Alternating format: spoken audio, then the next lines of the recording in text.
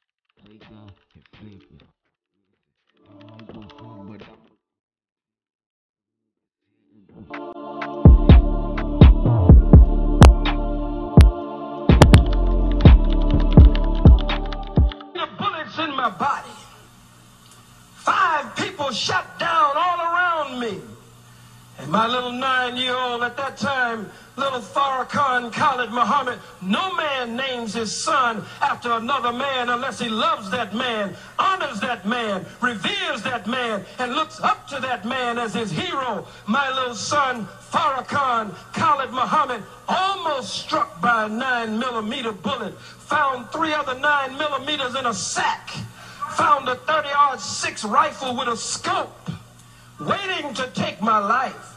I have waded through the blood of an assassination te- attempt. I have sat in the hall and in the dungeons of the white man's prison. I have stood up against the most awesome crackers of the world. The White House against me, the Senate against me, the Congress against me, the governor, the mayor, the police, the Army, the Navy, the Air Force, the FBI, the CIA. God damn it, I don't fear nothing but God Himself. Only God and God alone. Only God and God alone. Greetings, family. I am Dr. Ali, and welcome to Aboriginal Global Media.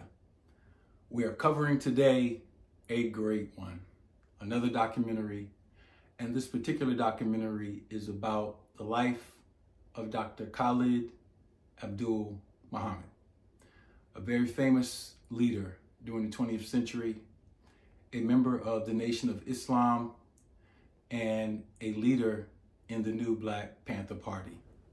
Dr. Khalid Muhammad serves as a great inspiration in my life because he was one of the early leaders who introduced me to a knowledge of self. And there were a few other people.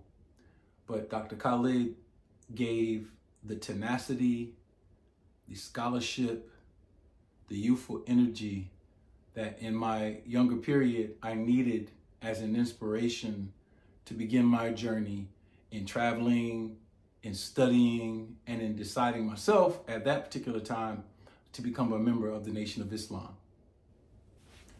I am in my 40s, and so many of you who may be in your 30s or 20s may have never even heard of Dr. Khalid Muhammad. Or yet pieces and parts of his life. You don't know the details that I am about to espouse and uh, go over. And so I do think it's important to go over aspects of his life that some of you who've been around, hey, you already know these things. But for those who have not been around, they need this particular uh, information about Dr. Khalid so they can ground themselves on who is this particular person that Dr. Ali is talking about, and more importantly, why is he talking about him? I do know that the most important thing for you is to connect with me and comprehend why am I even doing this? Why do a documentary on Dr. Khalid Muhammad's life and he died in 2001. It's now about 23 years ago. And is this is just not to tell a story about him. I'm pretty sure there are thousands of videos. You can Wikipedia him, look him up, even talk to some people who uh, knew him personally and can share some very valuable things. That's not why I'm here, or it's partially. The greatest reason for me talking about Dr. Khalid Muhammad is the reason why I did a documentary on Malcolm X. The reason why I do documentaries on indigenous history, on all of our leaders. It is to learn the valuable lessons that a life leaves for us. What are we to learn about the assassination of Dr. Khalid Muhammad? What are we to learn about his interaction with Minister Farrakhan? What are we to learn about his purpose and his early joining of the Nation of Islam around 1970 and his opportunity as a young man in college to see the messenger for himself, to see the nation fall, to later travel across the globe. He worked with Idi Amin, he's worked with Muammar Gaddafi. And so this is not an average man. This is a young man who had global experience in the cause of liberation for peoples. And so, because of his unique experience and because of the outcome, his life is now an equation. And I am the code breaker. I go back, I review the great strides that people have made, the accomplishments, what are we to gain from those?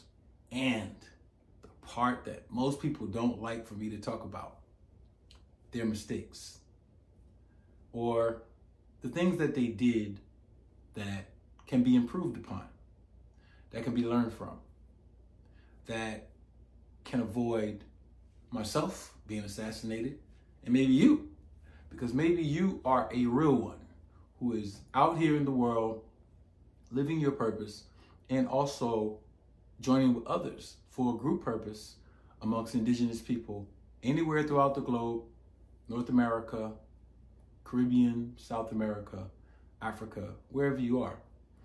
And one unique phenomenon that exists on the planet right now, 2024, that is evidence that we need to talk about.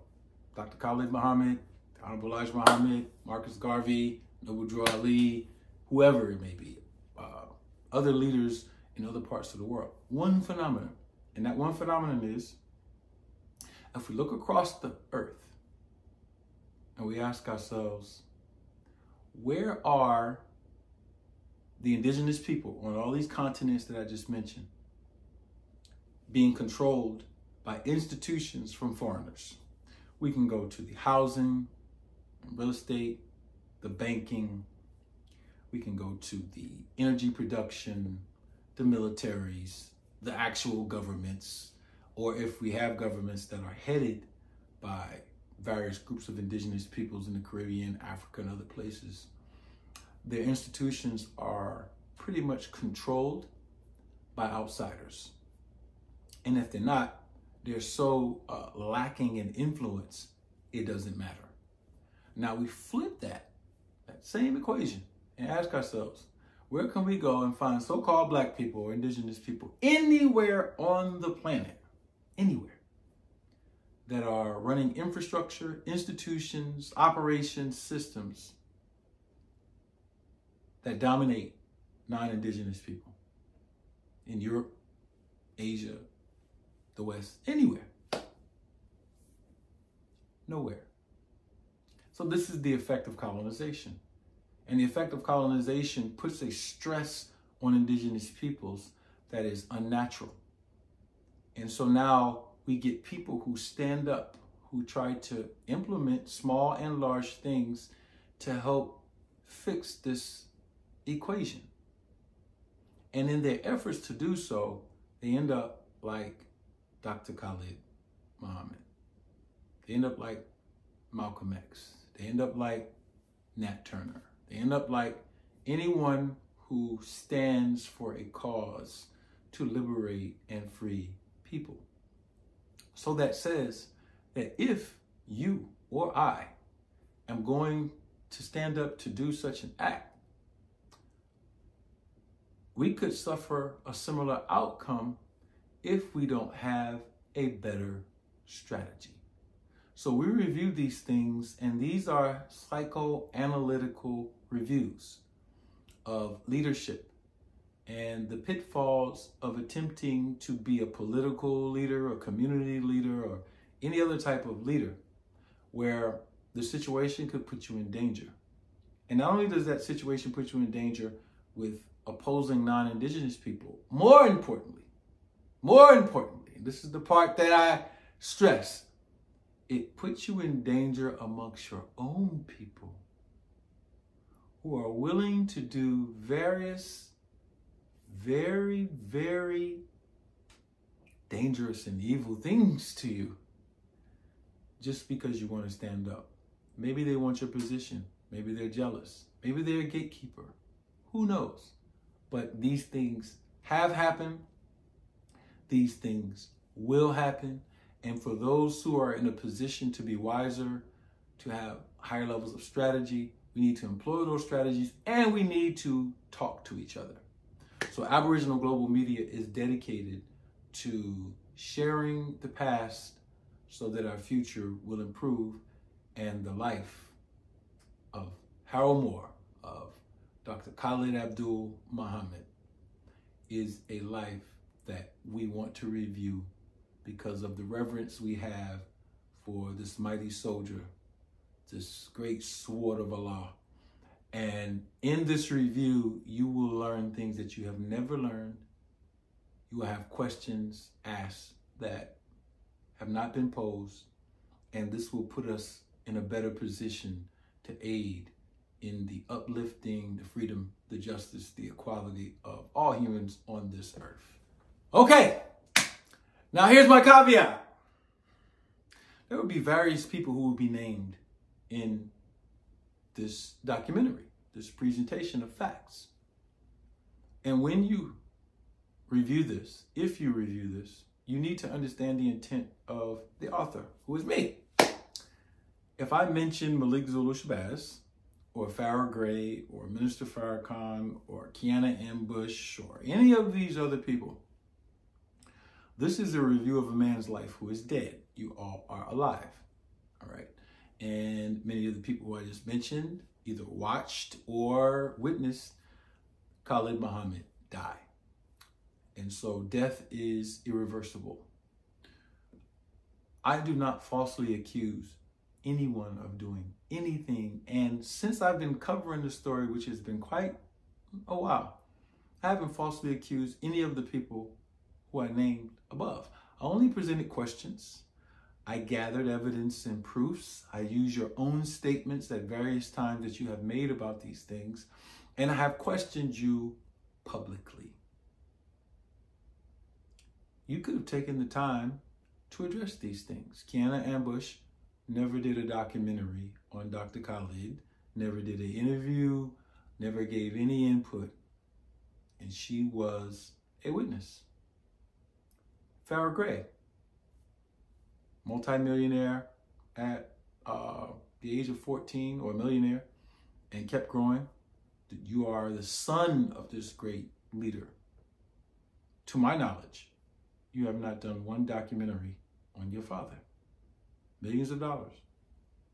One of the greatest revolutionaries to ever live in the sense of inspiring people to wake up, millions of people across the globe. Not one documentary. Malik Zulu Shabazz, I believe that you've written a book. And that book just came out, maybe what, last two years or so? Um, everybody has their own space and time of how they deal with the pain of losing a brother or a sister. But I posed questions to you, and you lied on camera and said, that I should have, and I did. I actually have the records. And I keep very good records. I presented something called the People's Indictment, and I asked you very detailed questions about things that you said by the pen of your own hand or typewriter, or however you want to put it. You put public statements out in video, in written form, and I question you based on the things that you said, and you never address those things. Minister Farrakhan, we've questioned you on this publicly as well in the same way, and you never addressed it because you probably feel like you don't have to. I know you feel like you don't have to, and you don't have to because we all have a choice. But this is pressure now. And I promise you, my good fellow brothers and sisters, without any string of violence, I am a different type of pressure. And it all deals with elevating the minds of the people into a certain level of awareness of who is actually around them. Can we actually trust them? What did they say over here versus over here? Would they go to the level of jealousy or envy to want or desire the life of their own said brother? These are questions that we are posing. And as we go into this documentary and deal with the life of this great soldier who have inspired millions, whoever is responsible for his death, all of you, from what I have seen, except for one, because I've never heard Kiana Ambush make one statement but I have found her. Everybody was looking for her. I found her. Found James Best too. Yep, I found him. You'll find out who these people are. Kiana Ambush was the former wife of Dr. Khalid Muhammad, and James Edward Best was the man who carried out an attempted assassination on Dr. Khalid Muhammad in 1994. And so, besides those two, my evaluation in this particular documentary is to present facts about your behavior surrounding the life and death of Dr. Khalid Abdul Muhammad. And may the pressure bust pipes. All right, family, let's go into some very interesting history about the origins and lineage of Harold Moore or Harold Vann as we know him as Khalid Abdul Muhammad. Now, you can do a simple Wikipedia search and it comes up that Carol Moore Vann raised Harold Moore. And he used the name Moore and Vann interchangeably. Even in college, he would use the word last name Van. And so what I found is that Carol Moore, her maiden name was Moore, had a sister named Bernice. But Bernice stopped showing up on the census. She shows up on the 1920 census and then disappears. Carl Moore continues to be shown on censuses all the way up to the 1950 census, which is the census that I'm using to say, okay, we have uh, Dr. Khalid on the 1950 census under his name, Harold Moore.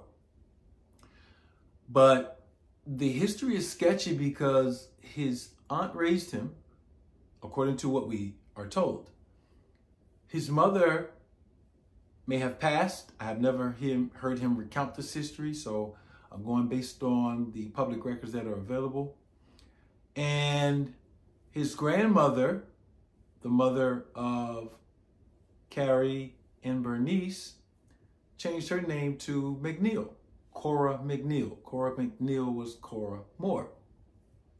And so we have cases of his auntie actually being raised by her grandparents and him having a connection to his great grandparents, who are William Moore and Nancy Moore.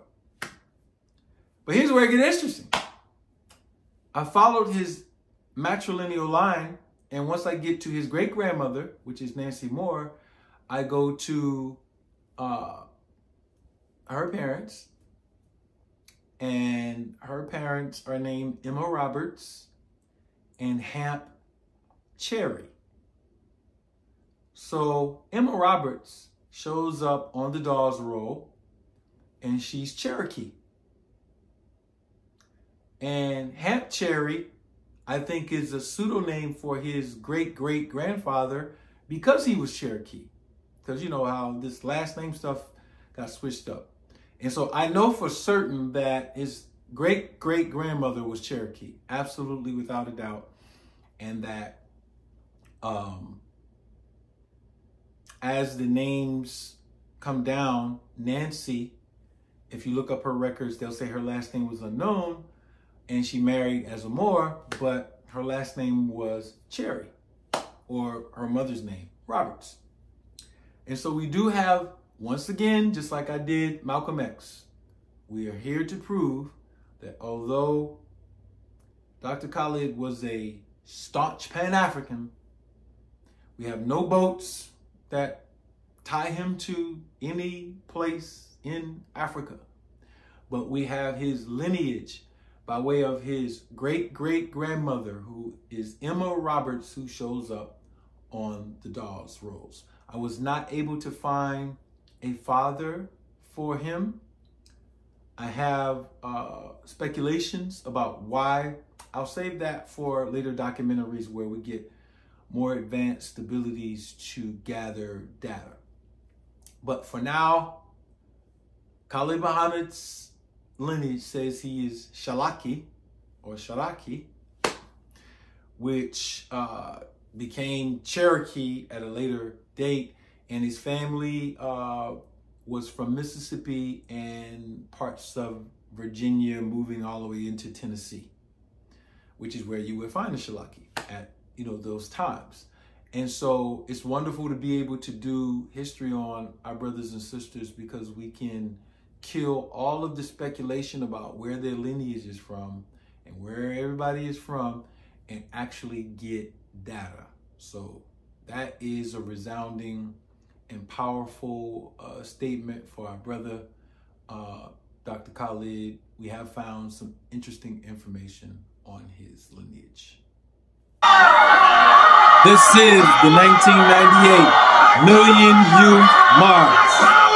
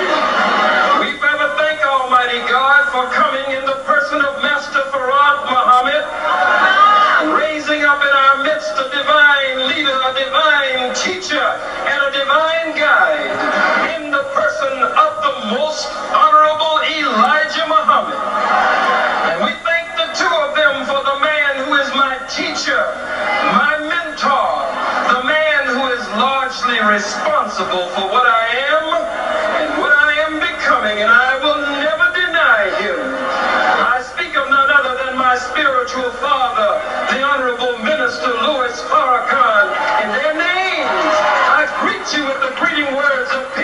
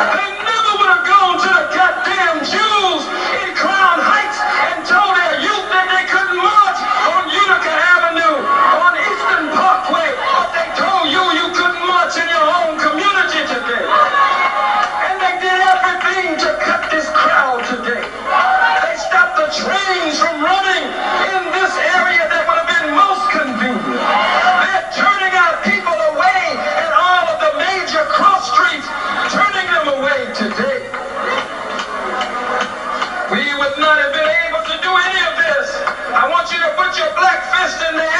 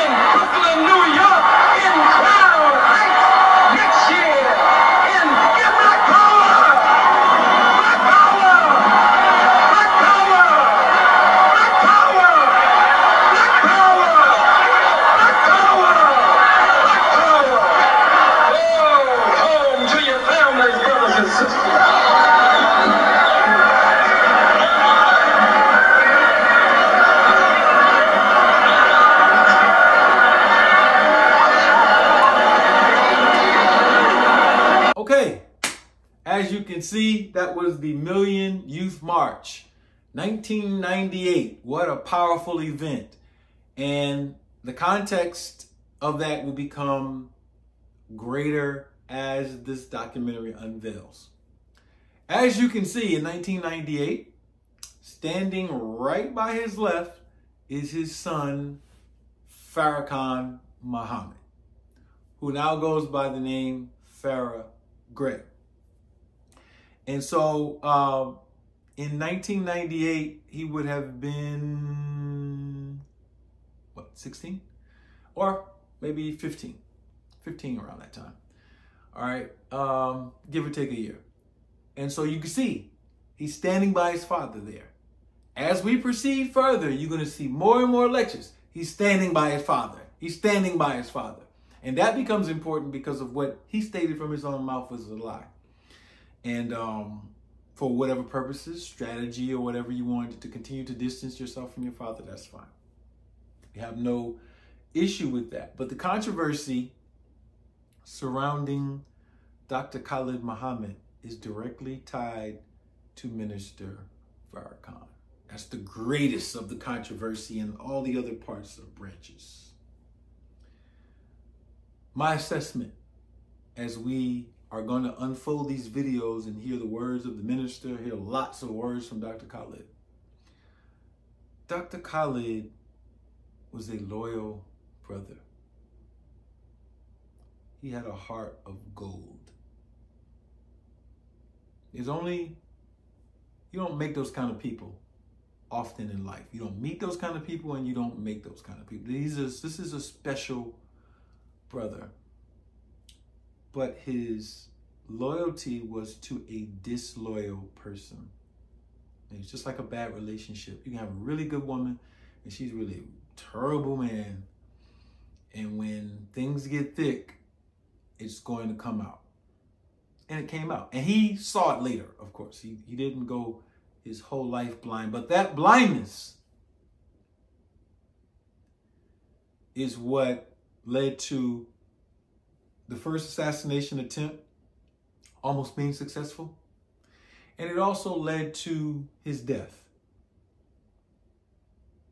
Because as you will see throughout this documentary, he kept trying to get the attention and got the attention and got some agreements that you, you y'all people don't know nothing about, but I got him on record stating it, and Minister Farrakhan has stated it in another context, lying about it. But you're talking about the same events. Khalid Muhammad actually made it back into the nation. Most people don't know that. And then he was put on ice. He was shelved. And why was he shelved? Because he was used.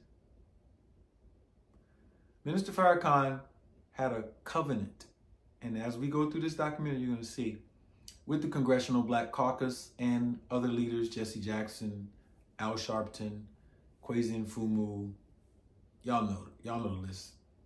And this was in September of 1994. I'm recounting this as a, a short history because we're going to go through it, but I want you to get the context. 1993, excuse me, September of 1993. November of 1993 is when Dr. Khalid made the famous Kean College speech where he's just going in. The students invited him, they gave him the subject, and he just, you know, he did his Dr. Khalid thing. And all hell broke loose. February of that year, Minister Farrakhan comes out and he does a press conference and he dis this is his words not suspend was not the word that was used dismiss dr khalid early february a few weeks later towards the end of february dr khalid gets censored by the united states congress and that will be in here so you can see that censorship and condemning him so now He's on a big stage now. April, he hits Phil Donahue. Y'all know the famous Donahue where he just tore Donahue down to pieces. Dr. Khalid was intelligent, brilliant, eloquent, well spoken, sharp, military demeanor, but a scholar. And so that momentum. Donahue, censored by U.S. Congress, dismissed by Minister Farrakhan, Kean College speech, all led up to the first assassination attempt, which was in late May of 1994. He survived that. And so that brought him further into a great stage. But you have to pay attention because between the time that he was dismissed by Minister Farrakhan and his assassination, Minister Farrakhan announces the Million Man March. And so that becomes the precipice of understanding all of this. Because Khalid was brought back and was doing speeches all the way up to the day before the Million Man March. And guess what? When they had that event on October the 15th, bunch of people was invited. Two people in particular did not show up. Two people. Karenga and Al Sharpton. And they ended up speaking at the Million Man March the next day. They didn't they were invited to the event with Khalid the day before. They didn't show up. Guess what? Khalid, after doing all of that work to galvanize the youth and get people and brought back into the nation, guess what? Not allowed to speak at the Million Man March.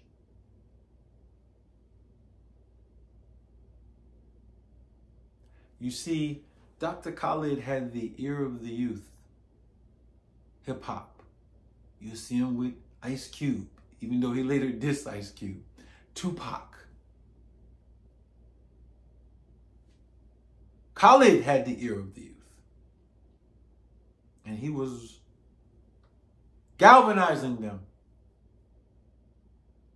In the 90s, it was cool to have a knowledge of self and to be disciplined in hip hop. It was cool to love your people. It was cool to talk your talk.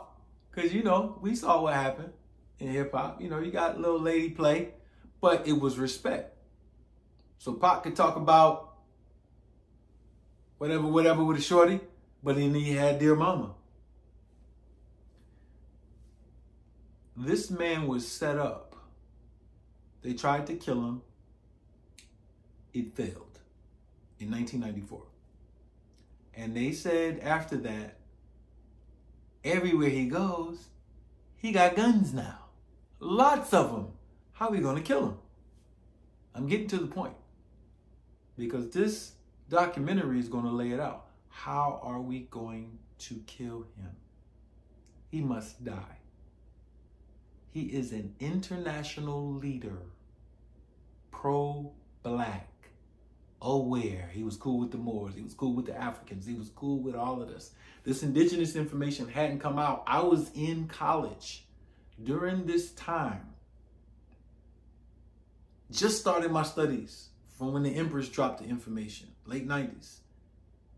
And so I was coming up under all of this and that indigenous information was being birthed at that time, but then he got knocked off and then I started climbing. But I, as a very young man, teenager, watched this. And what I'm saying to you is now, in retrospect, that I am alive, healthy, with a very clear mind. I see it all. They killed this brother to ensure what they were making sure that never happened with Malcolm and making sure that the plan of the Honorable Elijah Muhammad or anything like it never came to surface. This is the black elite. Yes, as Steve Coakley is in this documentary, he will tell you the boule, the gentry, the black gatekeepers, and Minister Farrakhan allied with them for the purposes of his wealth and his fame, and that is the end. And Khalid had to go and they had to figure it out and everybody else that's around, Malik Zulu Shabazz and Hashim Nzinga, who, who all did very suspicious things. But there's a bigger order here. And the order is, and this is the hard part, Khalid did not know how to protect himself from that order and class of people. he allowed the emotions and the pain of the betrayal to sink deep into him. He kept going as a soldier, but it bothered him. And I'm sending out a warning to all of you youngins who are watching. Their betrayal does not bother me one bit. This is why it's very easy for me to critique Minister Farrakhan and others, you know, some of my brothers even in Arna who've been in the nation, we all been FOI, and they they they struggling with it. I'm not made like that. I'm so glad I am third polarity Gemini. But I'm going off on a tangent because we're about to get into this documentary in the deep parts. My point to you is this is easy to see. And it goes back to the Malcolm documentary that I did and the Elijah's vision that will drop right after this. We know who you are, right? And I'm going to tell the people who you are so that the people can make a decision about building what they need, which is indigenous autonomy for our people globally. That is the solution. Dr. Khalid Abdul Muhammad becomes one of our deified ancestors, an icon, a lesson of what to do and what not to do. And we will take these lessons and move forward. All right, so let's jump on this part of the documentary dealing with Kiana Ambush. Kiana Ambush was a young lady, according to the best knowledge that we have, that worked at a store right here in ATL called Friedman's. Friedman's is owned by a Jewish family. You will see pictures of very popular athletes, Shaquille O'Neal, Magic Johnson, all of these various athletes, because Friedman's is special because they serve athletes with very large feet, vintage shoes and high price shoes. And so all these stars, you know, they go to Friedman's. They know this is their Jewish connection. Kiana Ambush worked for these Jews. So who introduced Khalid Muhammad to a woman who works with Jews? It was, according to the best knowledge that we have, Hashim Nzinga. But why would Hashim Nzinga be shopping at Friedman's? Ouch. This is where we start to raise our questions. Because if you go to Freeman's, the store is still there, and you look at this documentary, as I'm showing all of the famous athletes, six nine, seven feet, big feet people. Who around Khalid Muhammad had big feet? Malik Zulu Shabazz? Have you ever shopped at Freeman's? That's my questions to you. It's one of my questions to you. I don't know. I don't have proof. I don't, I'm not able to look at your bank statements from that time period. But some kind of way, y'all got into that store. And it's been put on Hashim. Hashim is dead. He died of cancer one week after the fake leader of the Black Panthers in the movie died of cancer.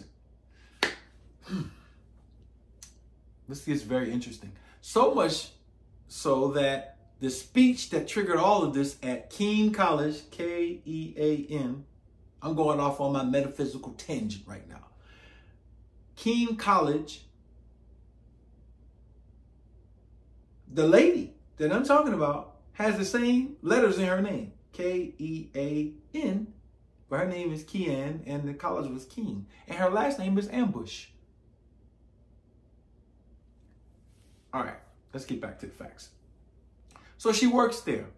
So somebody, according to what we are told, it was Hashim Nzinga. We can't question Hashim, but Malik is saying, hey, it was Hashim that introduced Pretty. And every every time I noticed something, Malik, because you're gonna watch this. Every time you mention Kian Ambush, you always talk about how pretty she was. I noticed that. Go look at his videos on these and, oh, she was pretty. Oh, oh she was pretty. Interesting. So, uh, I'm going to allege that you were shopping at the store because you have big feet. You're like six five, six six, and um, you know more than you're saying, but so for some reason you're just not saying it. And so he met this young lady, and three months after he met her, he was dead. She has not made any statements. The only statements that we have from her are by way of Malik Zulu Shabazz. I found her picture. Y'all know I am the one. I found her picture. I found her LinkedIn profile. Hell, I got a phone number and her addresses, but I ain't about to put that out. But here we have a scenario where one of the greatest leaders of our time dies. She attends the funeral, then she disappears. What happened to her?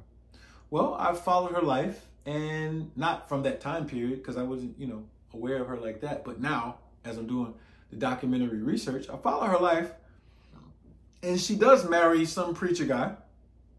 2008, she goes through some bankruptcies, so she wasn't well off financially. She didn't get paid a lot of money. She uh, got some houses foreclosed on. She was struggling.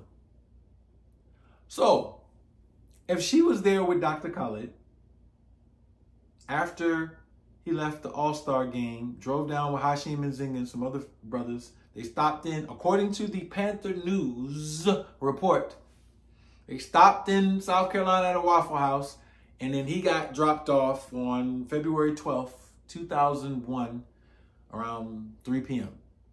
in Atlanta to his wife. That's the story we're given by Malik Zulu Shabazz.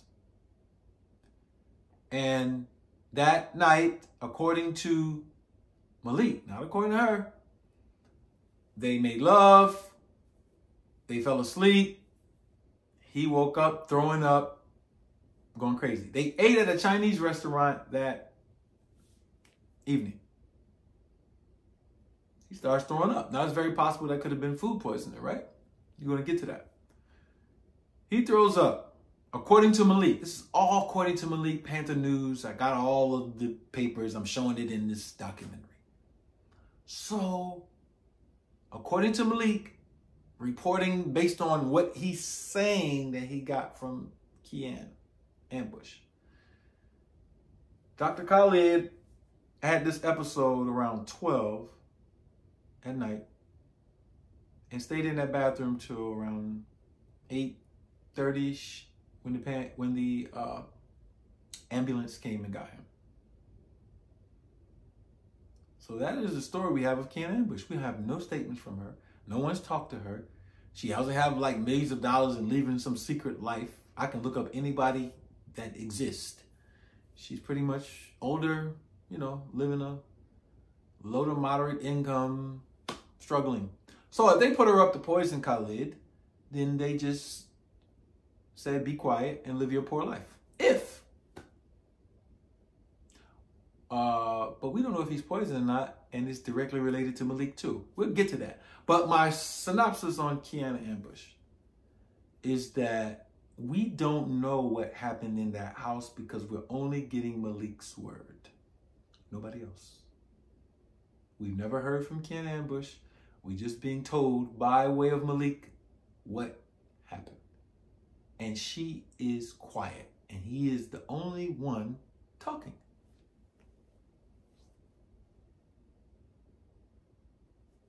And she was found in a store with Jews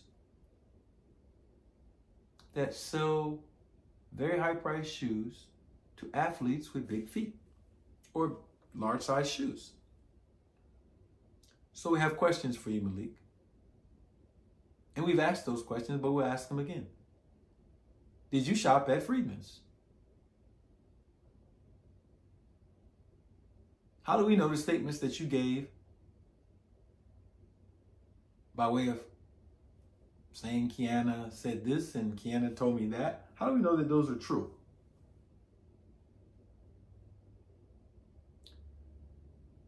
Are you willing to take a lie detector test?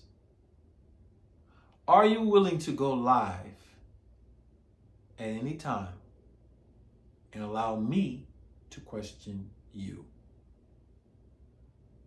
Can Ambush, if you ever see this, would you like to do an interview with me? I doubt it. I doubt whether both of those will, but we don't even need that. I had to say that though, but we don't need that. We don't need that. All right. And so, my dear sister, Kian Ambush, my summary on you is you afraid. Somebody told you to be quiet, and you did exactly what they told you to do. I see your pictures online. I see you just trying to live a quiet life, hustling, trying to make it. And so, regardless of what other people are saying about you, I've done my research to see that if you did do something, you've been told to be quiet. And if you did do something, somebody told you to do it. And that somebody is powerful. And so that's all I have to say about Ken Ambush. She is a woman who's living her life, and we should let her live her life and stay out of it. If she ever wants to come and speak and say something, we can offer her protection, and she would be fine. But it's not necessary for the sake of what we have to do here. No, brother, I didn't like what my father did to my little brother, Attorney Malik Shabazz, like that in front of everyone. I was the first to call the million. We all love you for that. And if you heard the tape, saw Brother Clemson Brown's video or any of the others, or if you were there, you know we gave props to Minister Farrakhan from the beginning to the end. And if you if you visited our website on the World Wide Web, we invited him. I didn't expect him to come. And I'm nobody's puppet dog. I'm not going to tuck my tail and go sniffing behind. Nobody. Louis Farrakhan didn't teach me that way. Much of what I am by the power of God and the most honorable Elijah Muhammad and what they put in him he put it in me. And that's the way I'm going to be from here on out. I'm not changing. I got one letter from Minister Farrakhan in five years. One letter in five years, though I had written him. I called him repeatedly. You've heard me talk about it right at the UAM forum for years. He set up meetings and postponed the meetings. When I was in the hospital, shot down like a dog, he never visited me, never sent me a letter, never sent me a postcard, not a penny, not a nickel, not a dime, the whole damn time. I know what happened between Malcolm and the most honorable Elijah Muhammad and how Malcolm's letters were being intercepted how his calls were being intercepted. So I know when to reach my father. So I would call him early in the morning when I knew he would answer the phone. And I would sometimes speak directly to him. And he would be just as nice and promise that we would meet. And there were no meetings. I stopped doing that and I said everywhere he was going to speak, I would go and sit on the front row or the second row to say, Here I am. Will you see me? Can we talk? Can we work this out? I'm, I want to come back. Remember how dedicated I've been. Remember how committed I've been, how devoted I've been. Remember, I was with you when your son was not with you. I was with you when your daughters were not with you. I was with you when none of the nation of Islam was with you. Remember me. I'm the one who used to pack two pistols to make sure that nobody would do anything to you. I'm the one who would stand next to you with a gun and a Bible. I'm the one who was willing to take a bullet for you. If an enemy stood up to shoot you down, I would sit on the front row, the second row, begging almost, pleading. What in the hell do I look like? Five years later, calling a man saying we're having the Million Youth March. Will you come and help us, please, sir? Hell no. We still invited him because it was the right thing to do. But we don't have to consult you. We consult God and God alone, God damn it. What's the next question? All right, we're doing this in parts. So now we're talking about Farrah Gray. Oh my. Farrah Gray is very popular. He's the author of Millionaire. And he's a successful businessman, has been since he was very young. And this is uh, dialogue, not to falsely accuse him, not to do anything, but to evaluate the situation. Khalid was our big brother, that's his father. So obviously, you love your father in most cases. Sons love their fathers. I have sons, and I'm raising them. And so I do have questions though. Here is a video that you can evaluate that's going to start me to ask the questions that I want to ask. I already showed you the Million Youth March where Farrah Gray, or at the time, Farrakhan, that's your name. You changed it to Farrah Gray, so we're going to call you by your name. You stand right by your daddy at the Million Youth March. You born in 1984. All right. So you about 15, 14, 15 years old. On this video, you're younger. And look what your father thought of you. See, my son Farrakhan, give him a strong black hand. Many of you, many of you have watched him grow up right before your eyes. Very strong young man, very brilliant young man, very conscious and committed, and I just love him, love him, love him.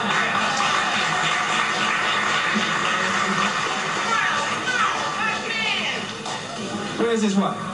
That's his queen. Look how beautiful this queen is.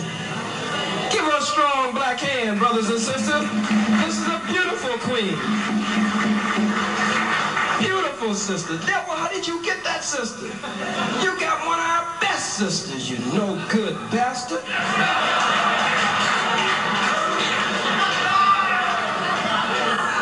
What you say, sister? Yes, ma'am.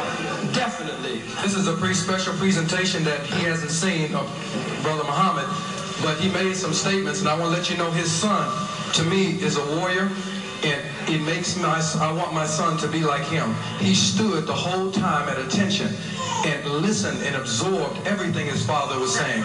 If we have children that has been reared up like this son, with the information, like if I was a kid with this information growing up like him, we wouldn't have no problems today. There is no. Okay. So we see your father loved you. What you would have thought of. You're very trained, very young. But I have a problem. Not with the video. The video is beautiful. The people commended you for, you know, even you your ability to stand post. I'm FOI. I know how that is. I've done uh, six hours outside on a building, making sure the minister is secure. So we understand that. But the problem that we have is these next videos and how you talked about how you became who you are. Was really good at. My Wow. Now, now, you had to have mom and daddy helping you out a little bit, right? Uh, what, what, how, how does that happen? my uh, biggest accomplishment was being able to retire my mother and my grandmother. Didn't grow up with my father in the house, but uh, still a very loving, phenomenal man. Every time I got a chance to spend time with him, he was a black leader, uh, an activist. So didn't grow up with him, but I was able, and he was uh, to succeed, and he was able to see that before he passed when I was younger. Now, how do people get involved? Like, you actually had some financial type of. Learn how to do it. Now, Oprah, okay, you were featured on Oprah. Tell us about that experience. definitely an honor. She is not only the queen of talk shows, she's the queen of television.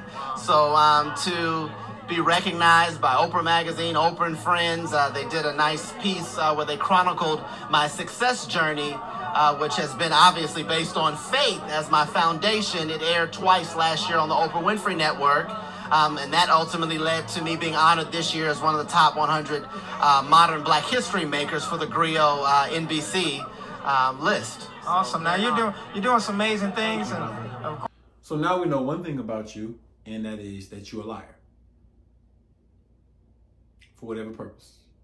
You did not want to give your father credit for raising you up and being there for you and giving you all the tools that make you who you are today, the skill set, the watching him speak, and your eloquent ability to address the public. All of the input that he gave you to make you a millionaire came from your daddy, boy. You got up on that camera just now. You started talking about Oprah and uh, your mama and your grandmother, and you should give them credit. You know, I'm pretty sure they're beautiful women. Boy, you know your daddy is turning over in his grave. And so now, after your father gets censored by the United States Congress in a censor motion signed by then President Bill Clinton, we see you with Bill Clinton at a conference for youth or whatever. Don't you know that I know that the Secret Service knows who you were and you are and who your daddy was who was alive at the time? Bill Clinton goes on to endorse you, endorse your book personally. Banks come along and put your face on credit cards. You're the first African American to be 14 and to be a millionaire because of your daddy. And now your father is gone. Here is my empathy. You could have looked at this situation and said, man, all of them niggas sold my daddy out. I ain't touching that. Because that community ain't nothing but a bunch of backstabbing Judases. I actually agree with you. If you were to think that way, I've experienced it. But here we go. You're 39 years old. If what they're saying about you is true, you've made enough wealth for the next generation.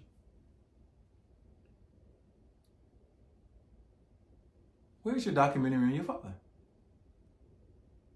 Where's your book about your father? Where is your story about your father?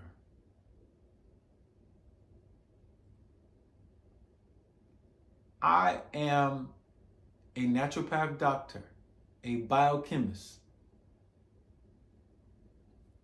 I'm a historian and what I have labeled a new age government manager to build indigenous governments. I've written over 36 books. I got all kind of things to do. I took time out of my schedule to make sure your father's life is being remembered properly and that we learn the lessons. Where is yours? There's something very wrong. Now, I'm not slow. I see all the promises and I know how they happen. You're here with Obama. You're here with Clinton. You're here with, uh, yeah, you on this Harvard panel and talk about this. Yeah, the connections. It was you and Kiana and other family members who decided to pull the plug, the life support on your father. Of course, you had recommendations from doctors and they're saying this, but this is Khalid Muhammad. Life support gets usually pulled because it costs, it's costly to keep the life support going. They're gonna run up a bill on you. But you you have money. I even heard Malik Zulu Shabazz say Dr. Khalid was poor.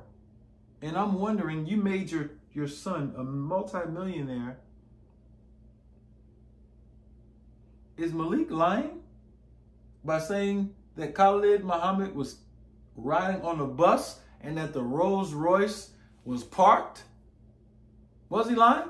Or was he telling the truth? that you had already disconnected yourself from your father in his last years.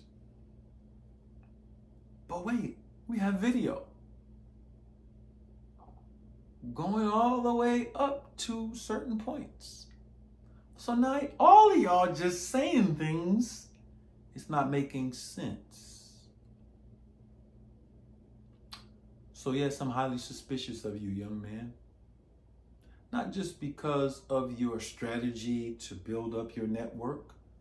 That's not that's that's normal asymmetrical warfare. I'm not these black power people who call people sellouts because they don't do what I think they should do.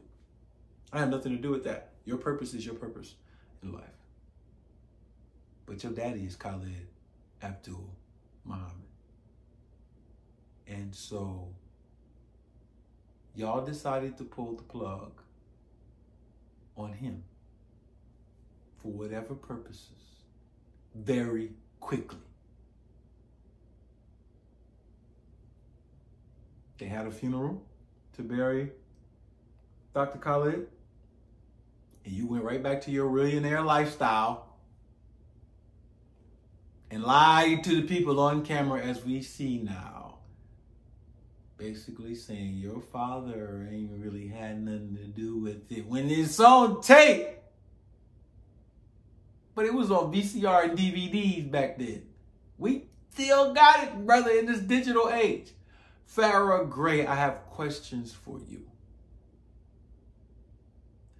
And they're pretty meticulous, but here's the one question that I will pose to you that is a heart question. How could you do that to your father? That's the one question that's the most important.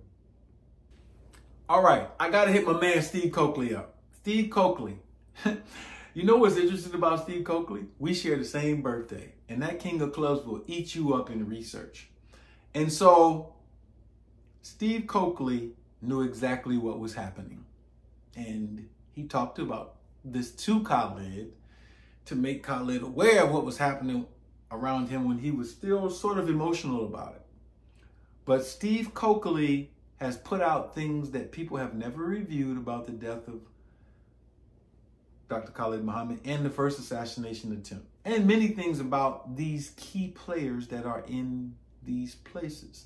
Steve Cokely is known for exposing the boule, the gatekeepers of the black community, the politicians and the businessmen and women who sift through the fraternities and sororities for black excellence and make sure that they are herded into a high level of integration to make sure the white establishment is not ever attacked by anybody black, never threatened, and if so, they will deal with it.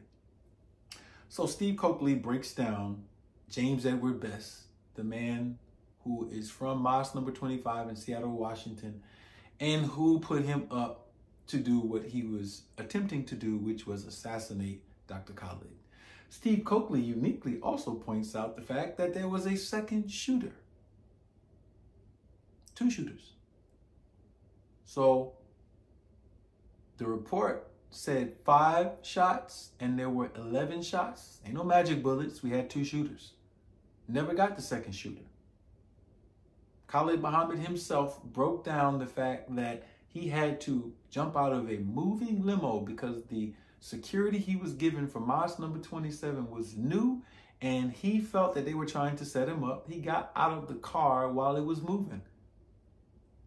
They tried to get him to go out of the back where they had a uh, rifle with a scope. They had cut out the fence and they were going to uh, take him out. Khalid Muhammad is in these videos that I'm going to show you after uh, I'm done talking, where the JDL is outside and they came in, but they were armed. So in Riverside, California,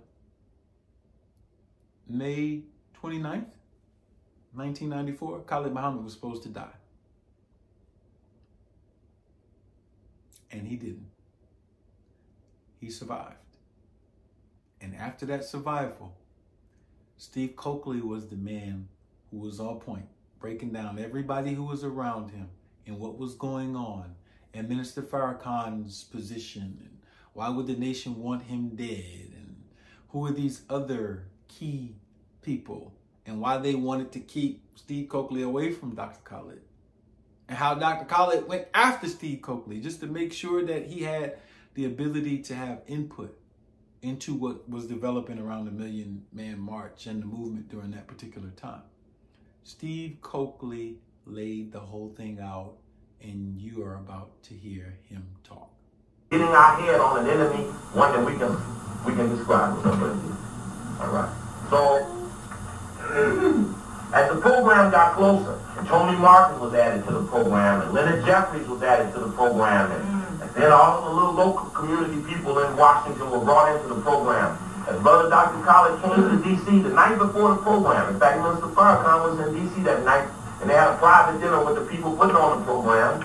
Uh, Brother Malik Shabazz, who you might have saw on uh, Connie Chung. In fact, he's the brother on the fade in the video. You see him sitting in the back of this video. That's Brother Malik Shabazz there. In fact, he's from he's down here from L.A. That's where he come from.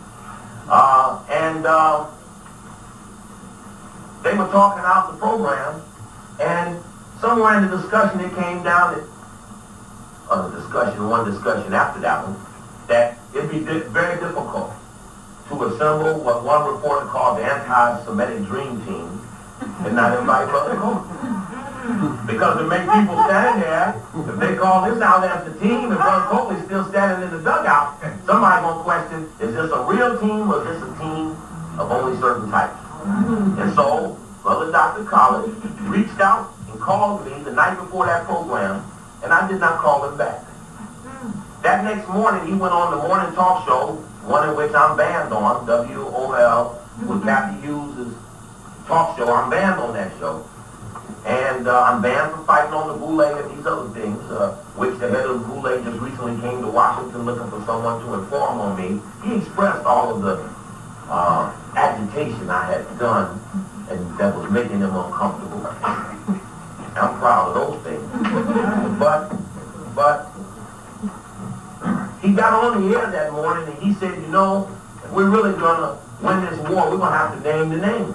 All right. He said, huh? So then he said, if anybody out there knows Brother Cokely, will you call him this morning and have him accept my open invitation to be in this program and accept my humble omission of him from the program. And about 50 people called my house like 7 a.m. Boom, boom, boom, boom, boom, boom, boom. Man, Brother Collins on the radio saying you ought to be at the program tonight. Well, so well, maybe I'll hear from Brother Collins. And after he got off the show, he got back to the hotel, he called me. We talked for an hour and a half. And we had a very, very, very deep discussion. I remember a brother calling me uh, when the Dr. Collins situation had gone down and he was being suspended uh, by uh, Brother Minister Farrakhan. And I remember looking at the suspension, getting chills. I mean, literally, the damn thing gave me chills when he said vile and repugnant. I mean, my goodness. Ooh, I, I can't tell you what that felt like because that wasn't about college. That was about me and you and about a lot of us because the hunky don't deserve no response. That's the law on the line. And you know I showed that article in the New York Times about colonialism is back. It was the New York Times that printed the ad. Now what do we owe a hunky like that? Nothing. Nothing. So I felt that all up in my soul. And that shit really give me chills too. That shit went up my body. And that really made me apprehensive. And I had done a tape, some of you all might have got it last time I was here, entitled Confused. The distraction between blacks and Israelis, the Khalid case.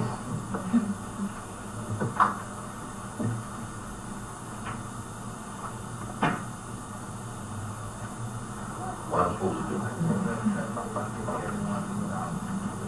Oh, okay, I'll take care of that. All right, I'll take care of it.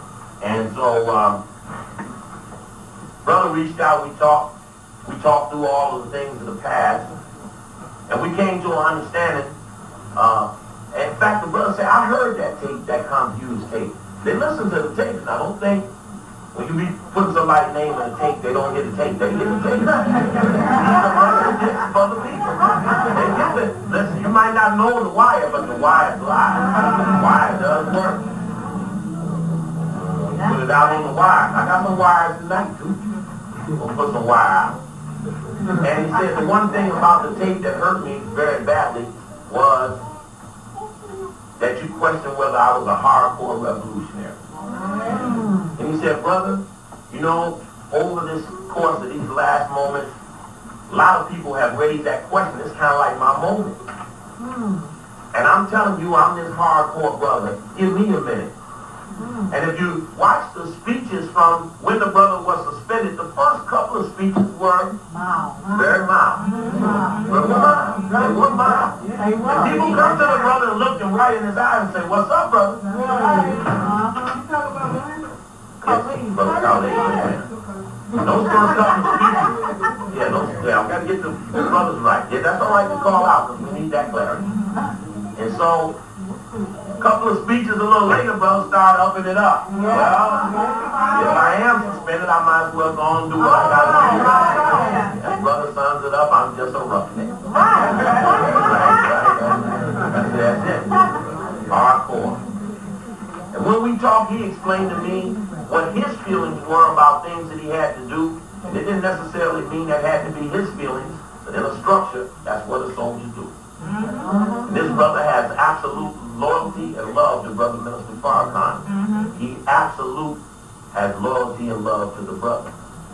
But they're not, that does not mean there are not other brothers between him and that brother who mean him no good at all. In fact, in context, if you think about the brother Collins assassination attempt, don't forget anything if you don't forget this.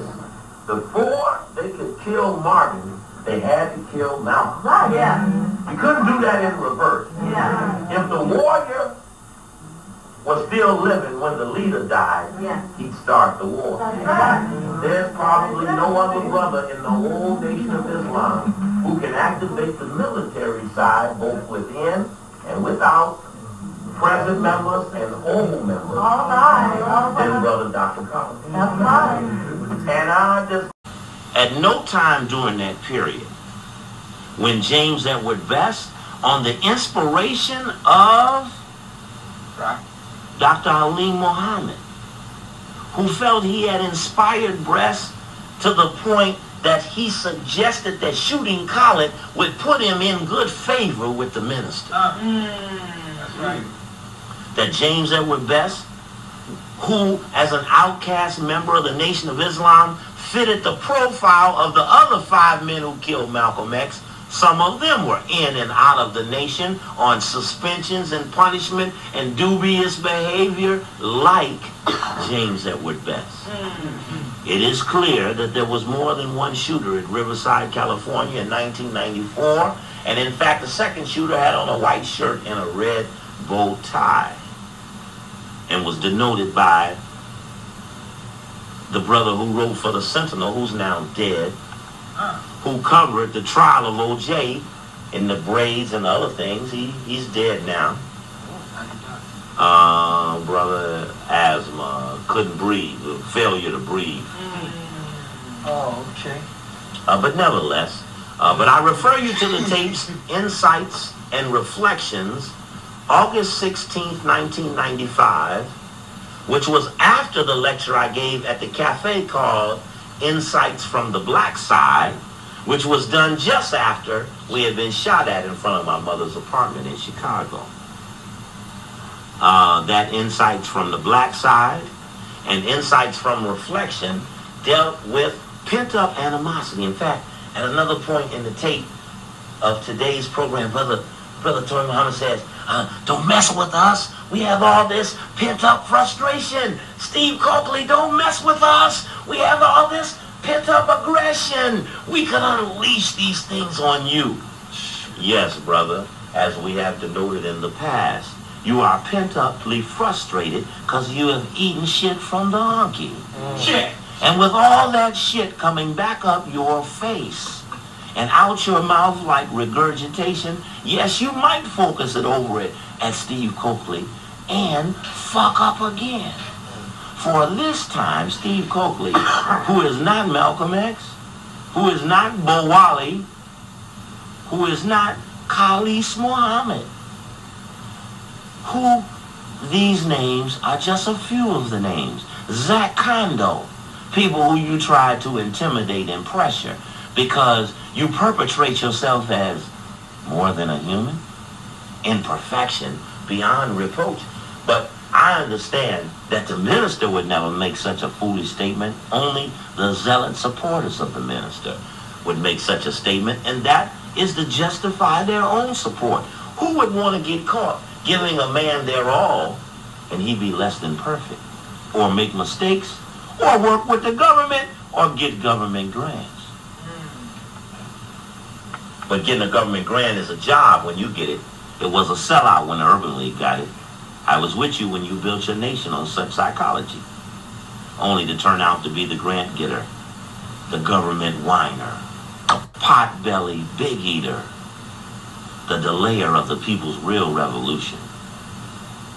Like you said, brother, if we had only one bullet and the devil had 40 faces, that one bullet would pierce each layer of the devil's spirit and material being if it be God's will. Don't ever say you won't fight the enemy because you don't have enough bullets, because you don't have enough money, you don't have enough members, you don't have enough final call administration buildings, you don't have enough final call newspapers to beat the devil either. So we're not going to wait on your program, and you're not going to hold up or impede ours. See, if the program's so fucked up, then step back up off of it and go on about your business and hold your million youth undermining program next year when there's no program scheduled at all. Why don't you do it next year? You can get it all the goods for yourself. But That's no, right. you know you have to go this year because if you don't go now, who else could you undermine? Mm-hmm. That's right. Hmm. So we sit at a serious crossroads, brother. I tell y'all now, y'all gonna see some physical shit come down because this is a physical solution is necessary here. Haven't already seen him shoot at brother Khalid Muhammad. He will not waver this time over his love for his teacher and spiritual guide. No, that's not it. In fact, uh, I think I better call that number just to make sure that we move into the spirit. Anyway, nevertheless, uh, we're moving full steam ahead uh, towards New York, and soon there will be a written broadside to uh, your response, Tony Muhammad. But I remember you from Insights and Reflections, standing up and stating with Vince Q, and know that such a thing exists.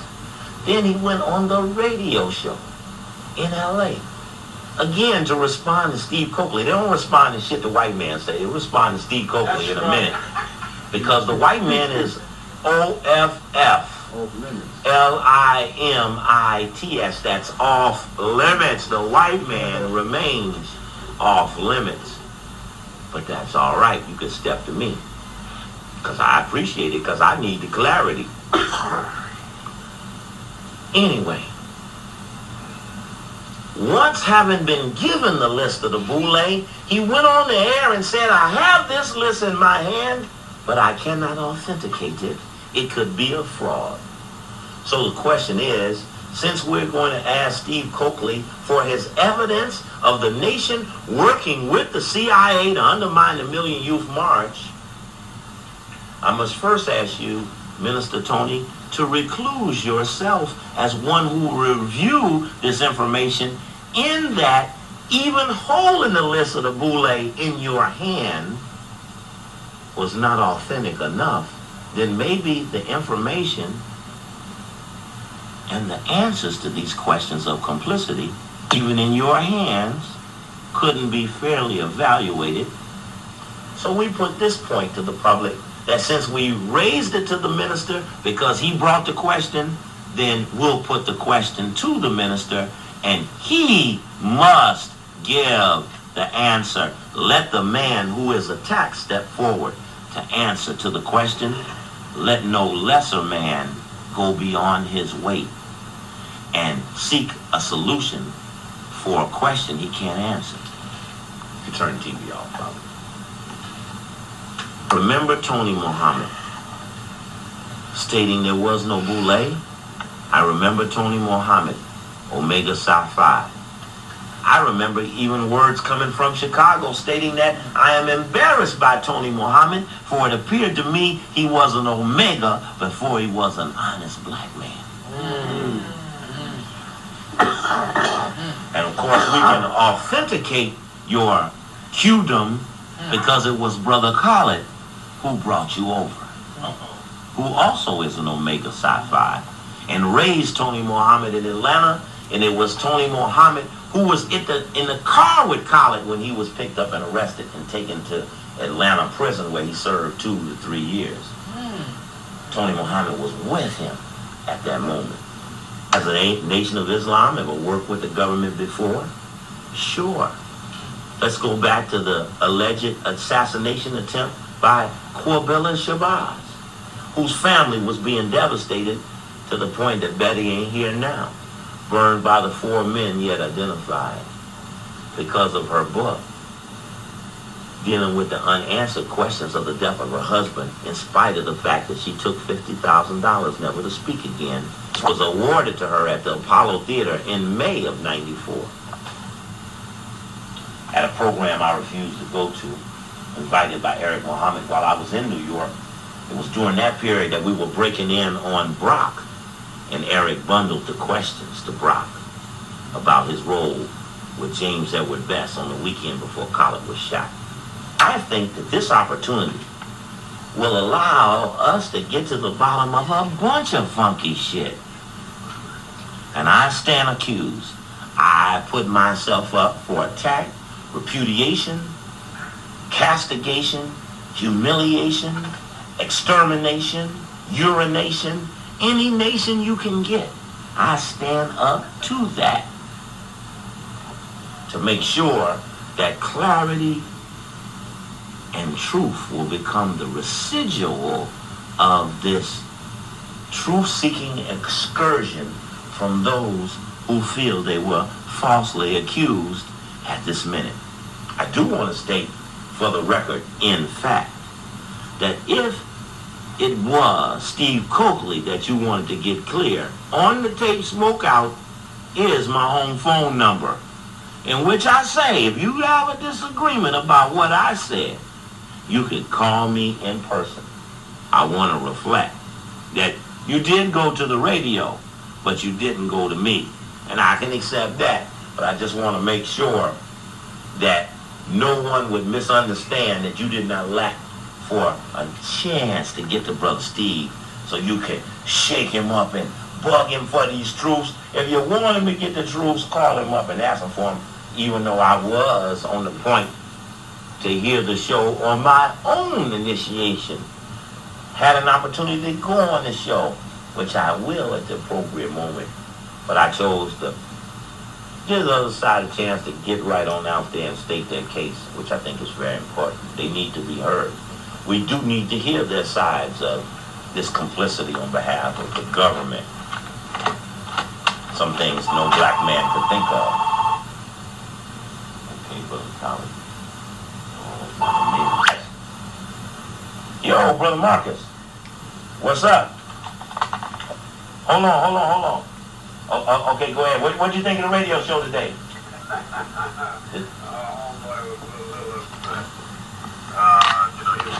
I, I detected a little, little male threat. Did you hear it? Oh.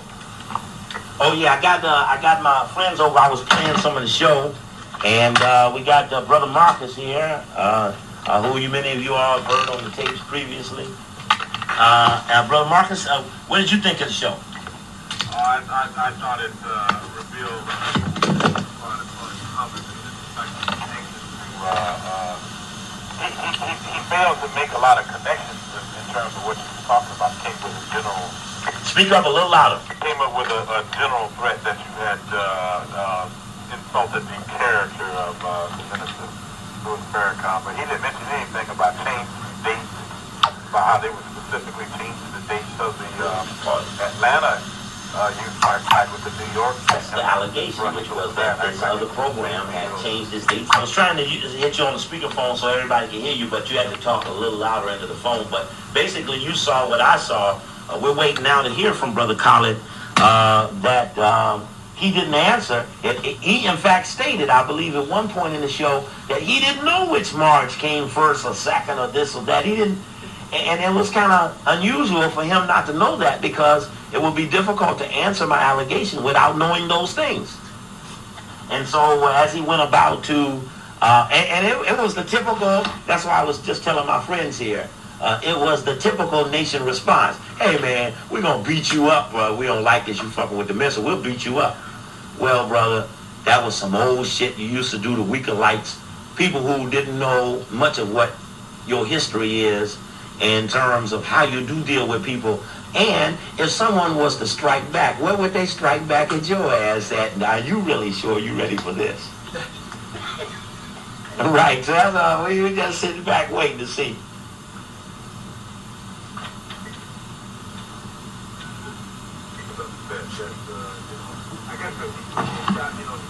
When you came on that time and laid down what was happening, you know, he was supposed to have been that next week.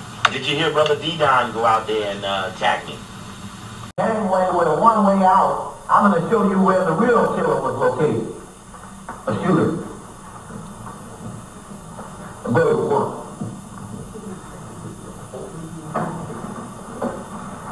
Oh, All right, this is Colin at Riverside. Now, there's another picture of Colin in a blue suit. That's Colin the night before at Paul Gibbs' place. Now these are protesters. These protesters are outside, kept away from the front of the lecture area, but interestingly enough, right before the program starts, all the protesters leave, but Earl Rubin goes inside the event, which is rare for him. Now, he goes inside the event, after about 15 minutes into the speech, he gets up and walks out.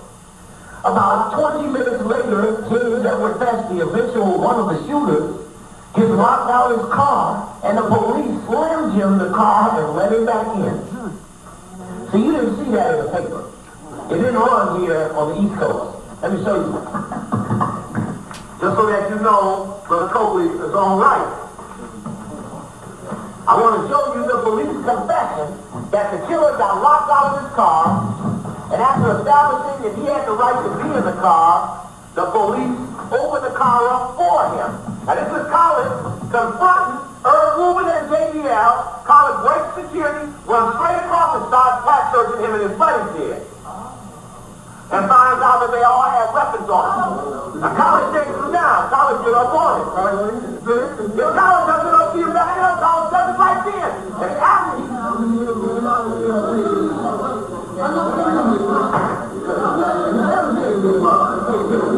couple bullies. Doctor, we're going to second right now.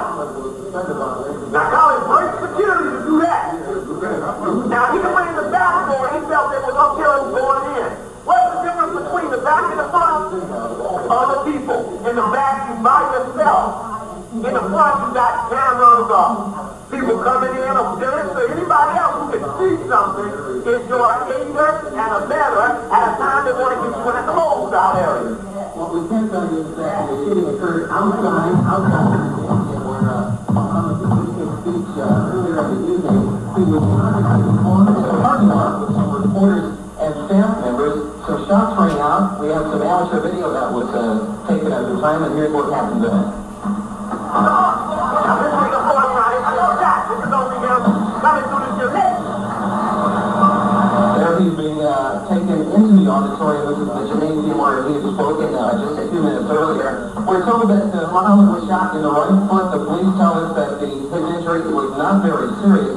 Uh, there was a, a melee that broke out after the shooting, and uh, Nation of Islam security people surrounded the gunman, who was described as a black man, a black man about five foot ten. He was wearing a blue suit. Uh, he was uh, he was pummeled by the security people and other people who were uh, around uh, the shooting at the time. Uh, they were beat up rather severely. Uh, uh, a ABC photographer by the name of William Lewis witnessed all of this, and here's what he had to say about what he saw.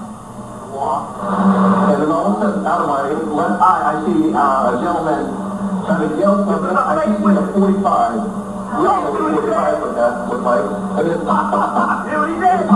Oh, and people were just, just screaming. Uh, He said, he said,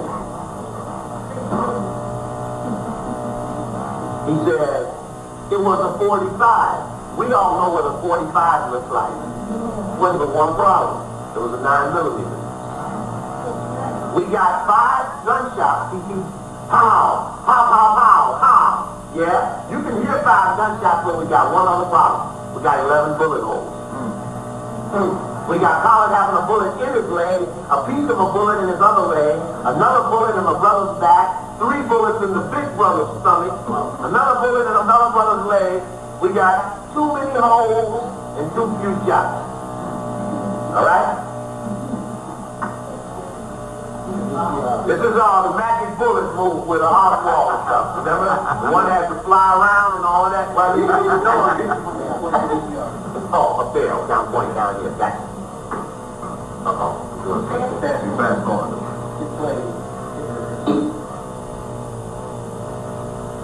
the police acting in custody now. He had to be forcibly uh, removed from the people who had detained him. Uh, and in fact, I'm told police had some trouble getting him off the grounds here at the station. Uh, he was put in a squad car, and apparently they had some trouble just getting the squad car off the campus here. Okay, so we probably thought people could later on. All right, come on.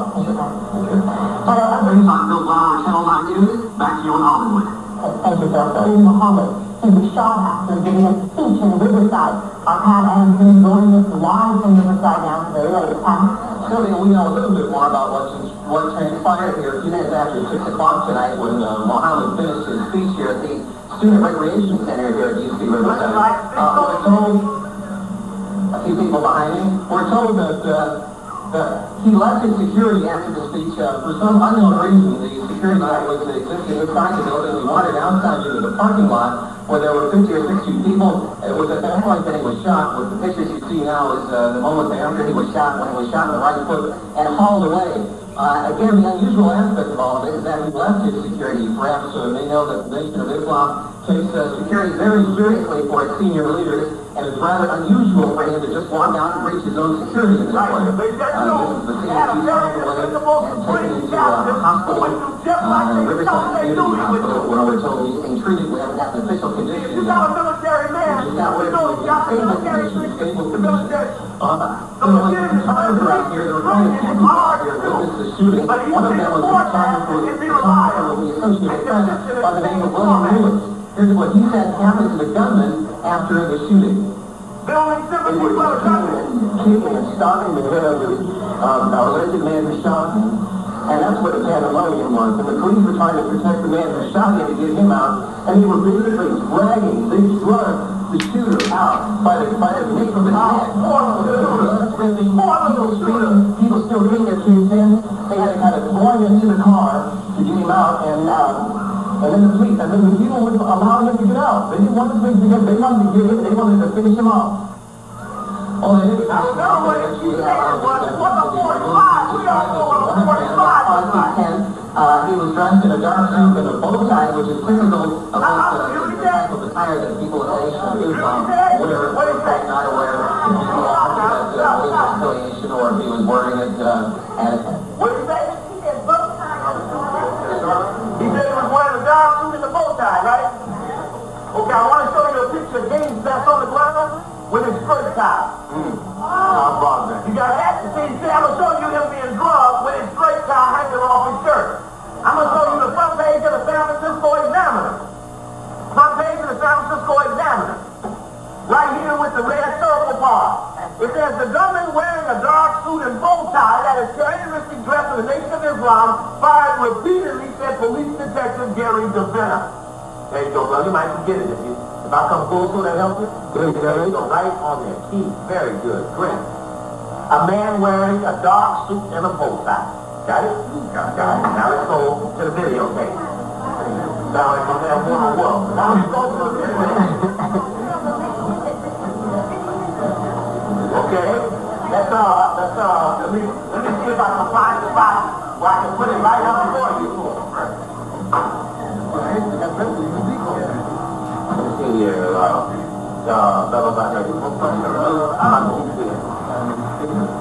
Okay, one other thing I have to show you, let me just do this before I put the video on. Each day, each day, certain misinformation came out. I mentioned to you that there are only four days in all. The four days in all, don't move, don't move, don't move, don't move, don't move, don't move, Okay, we got Steve Cokely's take, and that was informative. And now we're about to hear from the man himself, Dr. Khalid Abdul Muhammad. He is going to break down the movements he started. Most people don't know that although he was the head of the New Black Panther Party, he had a whole Muslim movement. I'll let him tell you about it. Dr. Khalid was ready to start a plebiscite. Dr. Khalid wanted to develop the plans that the messenger had to build a nation here on this land in the South, getting from land from some of these states, just like the Republic of New Africa and the nation all people had talked about. The uh, Republic of Africa, New Republic of Africa, Republic of New Africa, um, got its idea of the states from Elijah Muhammad. And so the Panther program was the uh, uh, the general orders and the 10 point program of the, all of this is connected. It's just our attempt to rise up. But Dr. Khalid tells the entire story of how he was let back in the nation, but then put on ice. How they used him up until the Million Man March. How all this talk about atonement and reconciliation, and then the minister started ignoring his calls and didn't want to talk to him, but then would do lectures threatening him and saying this and saying that. I'm going to let Dr. Khalid talk to you. He's going to tell the details. Listen to him. These are his words, his views. This is the truth that has never been taught. I have never heard anybody say that Khalid was let back in the nation and under what terms and what happened during that activity. Roll the tape. Dallas, Texas. We came in out of New Orleans. Came in out of Houston, Texas brother, young brother Quanell X with the New Black Muslim Movement, uh, who has uh, joined and by God's grace and permission and guidance of the ancestors, uh, deferred to my leadership. Oh, brother, I need to, I need to mention to you, I do remember this. Uh, in the tape, Tony Muhammad repudiated Quanell X as not being a member of the nation. We never associated do some of the things you saw him do. I don't know what group he's with. I know they're Solomon or he could be this one or that one. But he did bring his name up and he did make sure that the nation had nothing to do with it. Brother Quanell, Brother Quanell is, uh, again by God's grace, is with me. Uh, this young brother was put out of the mosque in Houston, Texas, mosque number 45 they call him, not in an affectionate way, they called him Khalid Junior mm. and put him out of the mosque. They said he was too black, he was too radical, he was too revolutionary. Mm. They said he was disrupting the study groups. And as they were studying the different study guides, he would question different points and issues and take them back to the most honorable Elijah Muhammad's teachings from Message to the Black Man and Fall of America. And he questioned the book uh, the uh, Torchlight for America, written by Minister Farrakhan, and made a comparison uh, of that book and the Honorable Elijah Muhammad's book, the most Honorable Elijah Muhammad's book, uh, Fall of America. So he left and started what was called MFOI, and now uh, we are working together on the new black Muslim movement. New means that, of course, there will be the foundation, the essence, and the core of the old, but there will be, given the uh, conditions, the current, the contemporary conditions that the black man and black woman is facing, there will be some new approaches to that. Uh, so Brother Quanell came in with troops out of Houston, And they came with their shotguns, their rifles, and assault weapons. Uh, we had a Reverend Brown to come in out of New Orleans uh, and out of uh, Dallas and out of Fort Worth. We had Brother Aaron Michaels, who is the founder of the new Black Panther Party.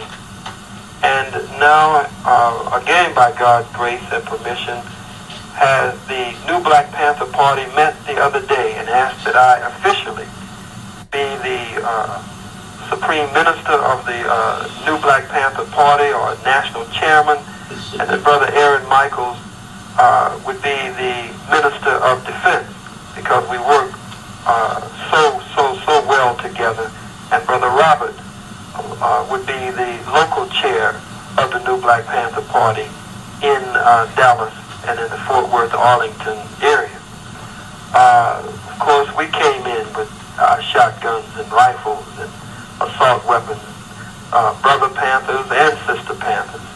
Some of the former members of the Nation of Islam, top soldiers, crack soldiers, uh, polished professionals came in, and some who had served in uh, Desert Storm and various wars for the devil, or so-called wars for the devil, joined us, brought their rifles and shotguns.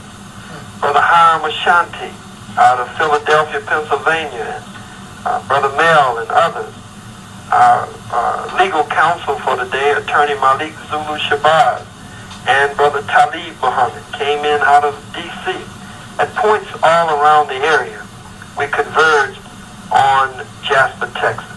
The old no-good sheriff to line with, with the Honorable Marcus Garvey and Du Bois and others. And then a little while later, he didn't have to be talking to me, but everybody thought he was, including me. He said, um, if you if you turn against this, we will kill you if you turn against this. Because, and we went on to say, because if you try to mess this up, you are worthy of death. So everybody say, when it's over, brother, you be careful. Did you hear what he said? Mm. I said, yes, sir. Uh, yes, ma'am. Yes, sir. Yes, ma'am. I heard what he said. Said, well, you get I I'm not sure he was talking to me. Uh, I don't know. My mind, I was saying, God damn it, he was talking to me. but I, I was sitting there. His wife, when she turned around, she realized I was there. When it was over, she hugged me. Seemed like she was happy to see me. And uh, I thought I would get to talk to him that night. They told me uh, Brother Sharif came out in the audience row so where I was and said, the minister give him a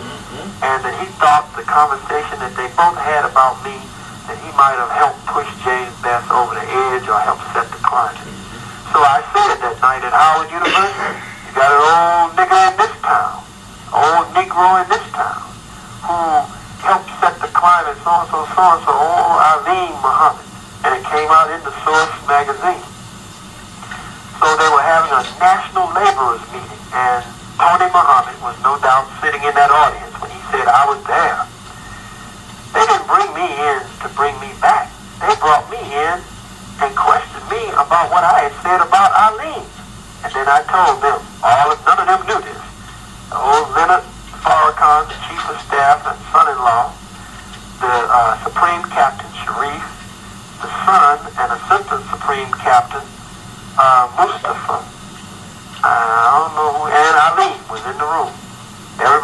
in the University of Islam Gymnasium at the National Ministers, Captains, Secretaries, and all of the National Laborers, where I assume Tony Muhammad was, that he was referring to. And I said to all of them, look, I didn't make this up. I got this from the minister's mouth. I said, but I didn't say that that night at Howard University because I didn't want the minister implicated in being the source of the information. And they were all like shocked. The minister said that. Uh, I said, not the Ralim. It was the minister who told me that you said it. Himself. So they were, and then I got on all of them because we spent a couple of hours or so with them. All they were doing was, it looked like Alim was supposed to be getting some money or something from the government for some AIDS research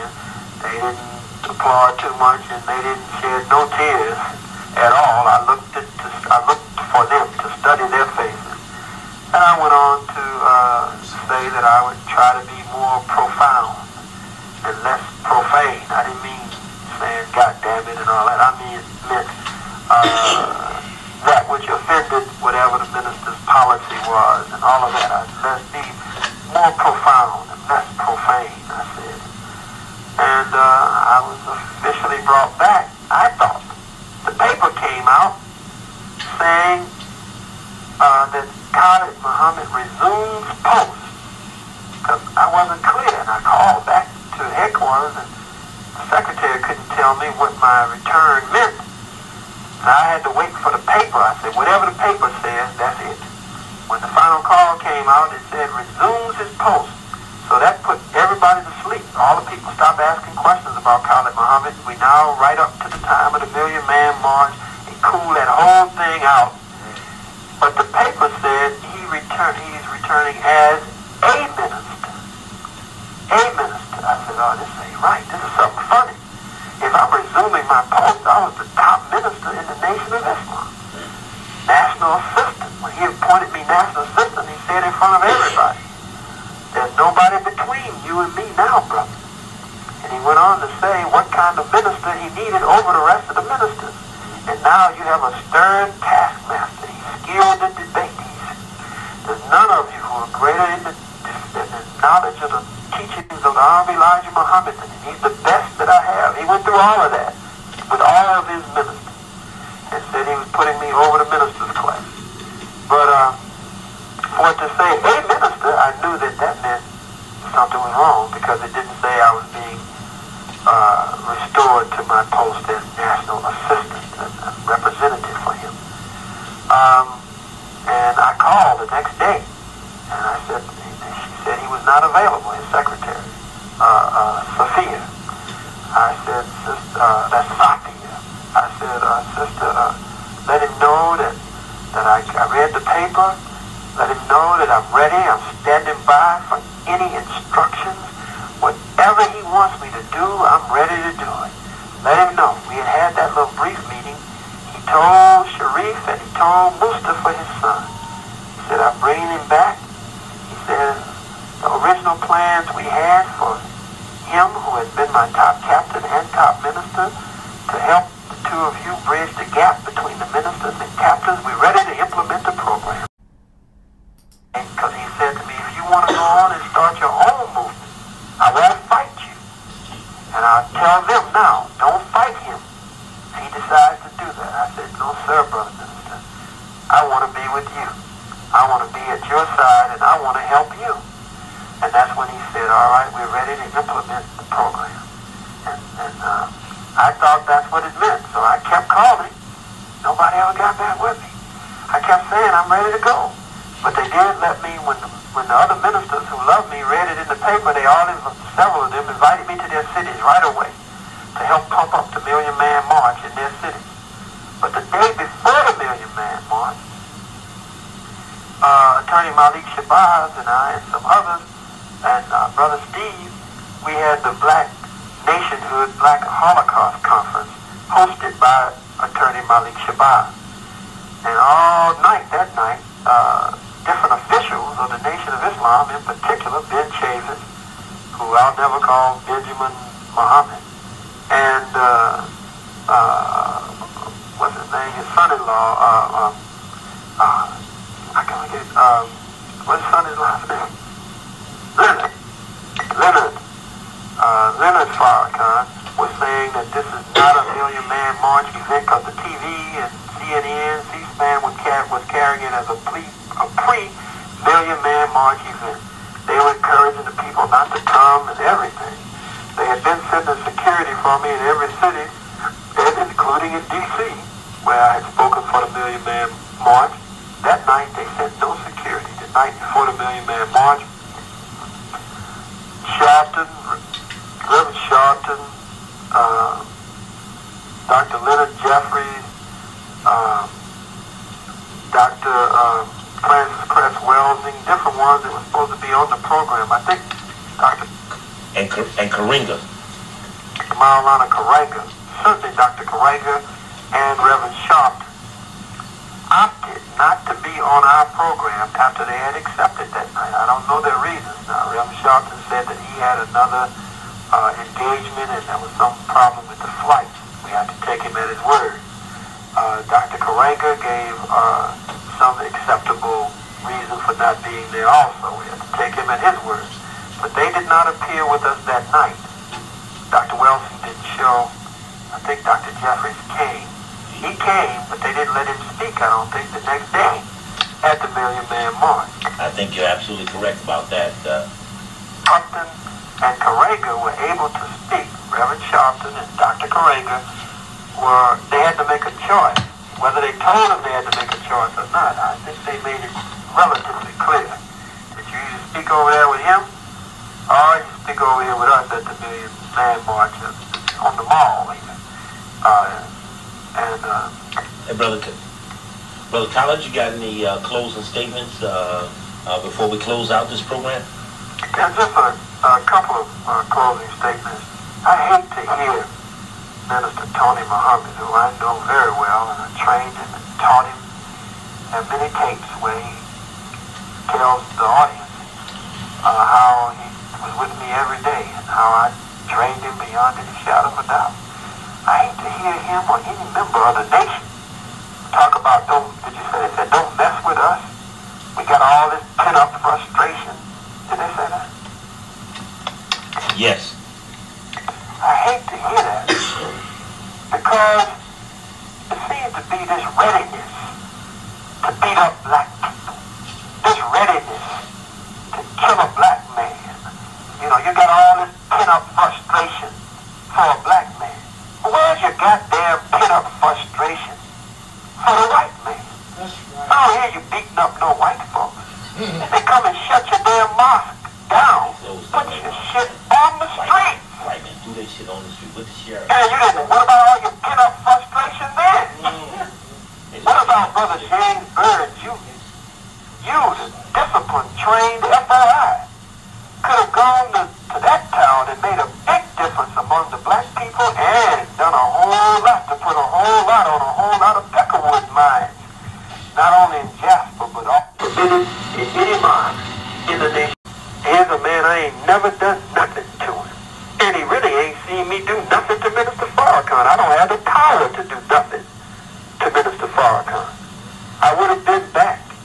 I probably would have subordinated a lot of my feelings and my drive to fight this goddamn beast.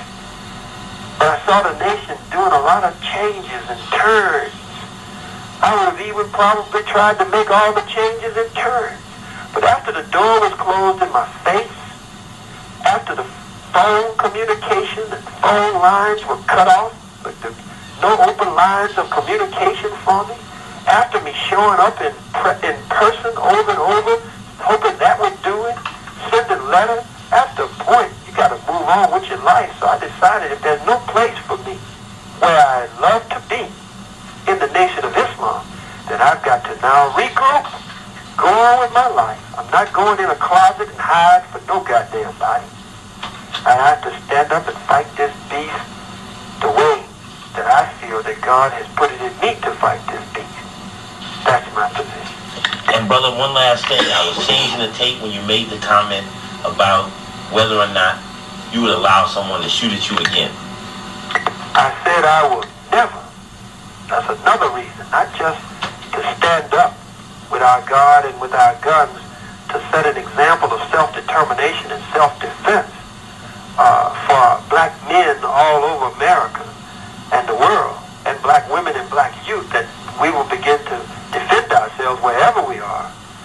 Not just, that's the primary reason, but another reason.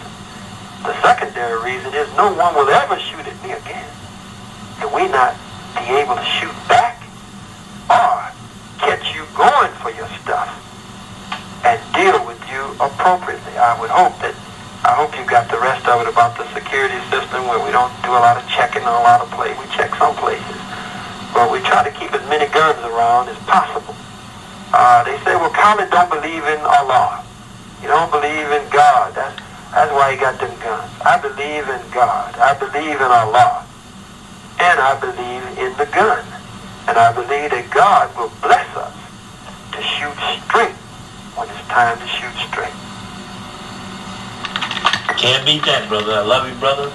Uh, I need to figure out a time, either tonight or in the morning, that we uh, go through some of this tape so that you can be as best prepared as possible.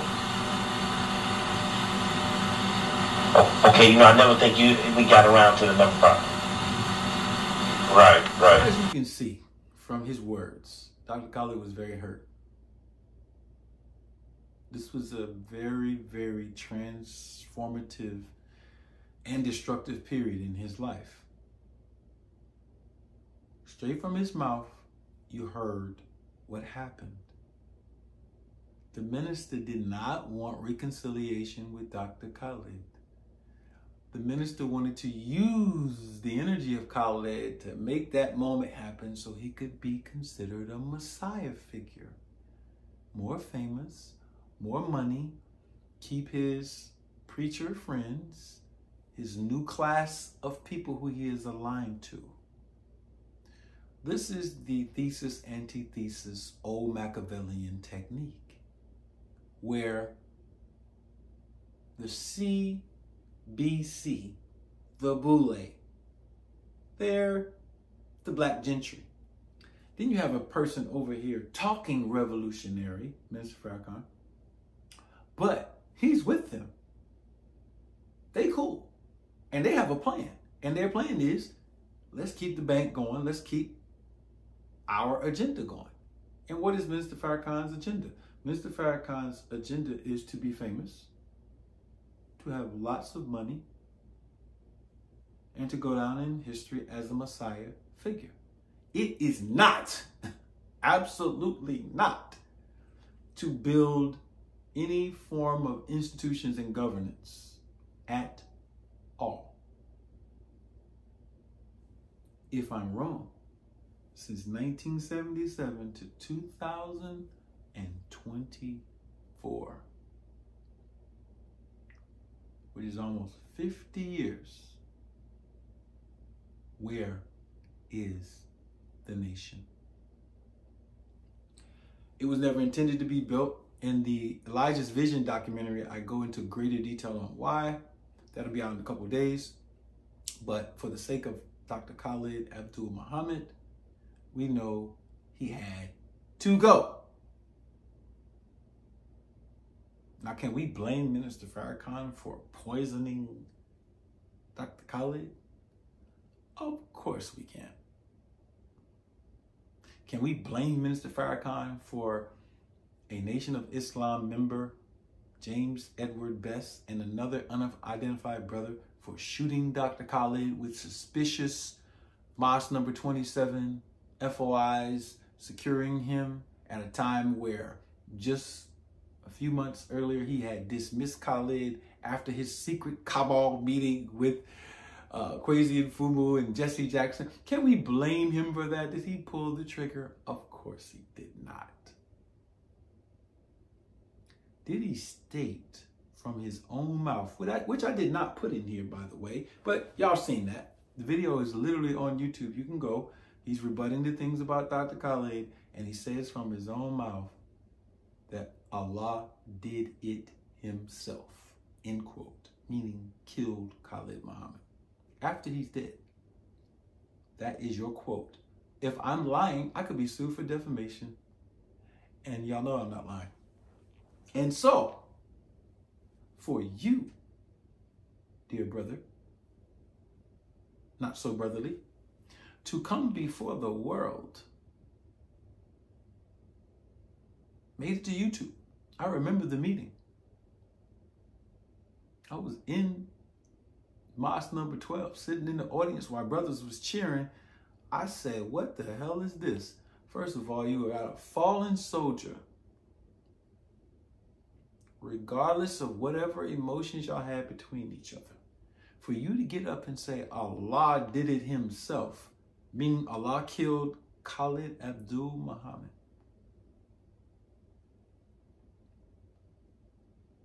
What? Allah. This is where religion goes mad. Are you telling me that Master Fard Muhammad killed Khalid Abdul Muhammad? Because that's one Allah. Are you telling me that the black nation killed?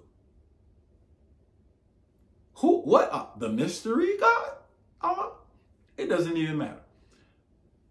Your Allah, Mr. Farrakhan's Allah, will kill Khalid Muhammad for having a disagreement, a peaceful disagreement. Khalid never brought no soldiers to hurt Mr. Farrakhan. Khalid didn't even have it in his energy field to hurt Minister Farrakhan.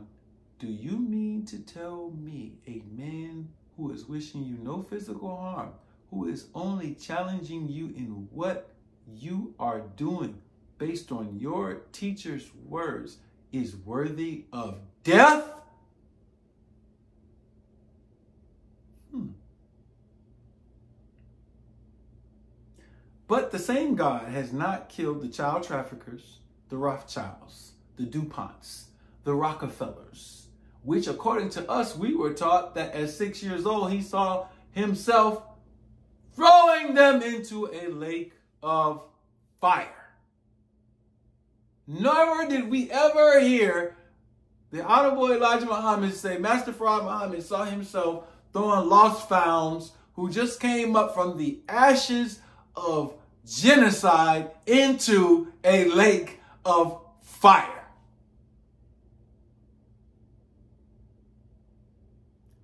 Minister Farrakhan is a hoax of the most elite type. There is and will never be anyone more slippery and trickery than Louis Walcott. And y'all have a hard time with that.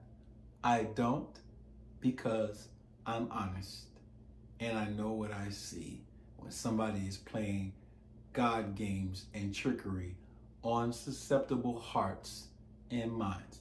Khalid did not get killed by Allah. As a matter of fact, Allah don't kill nobody in the sense of the mystery God. Man and woman are the consequence of the causes and effects of the laws of the universe, with the law of possibility being the highest. And we were all taught this.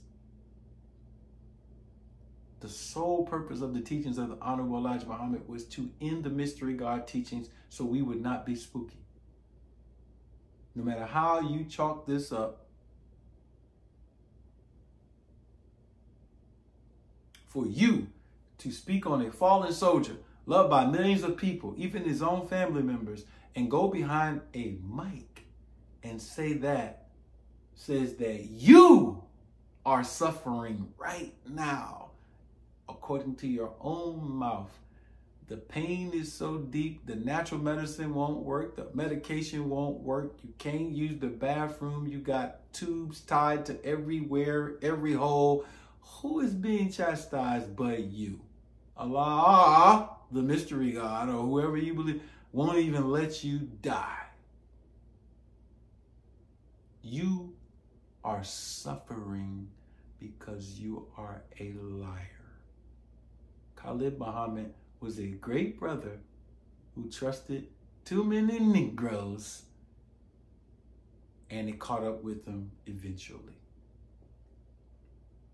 That is what happened to him. Last but not least is the commentary from this young man, Malik Zulu Shabazz. Now, Malik Zulu Shabazz did an interview with Brother Sutek and my good brother Sonetta. And out of all the people who were coming down on his head during that college situation, I'm talking about Black Panthers in his own party was coming down on his head. Black Power people was coming down on his head. The whole goddamn nation was coming down on his head. Like, what is going on here? Yeah.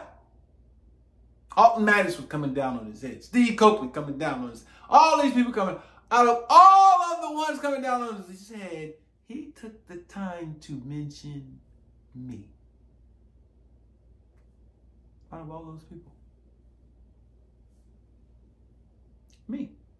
Little old Ali at the time that he made this statement. Damn near 10 years ago.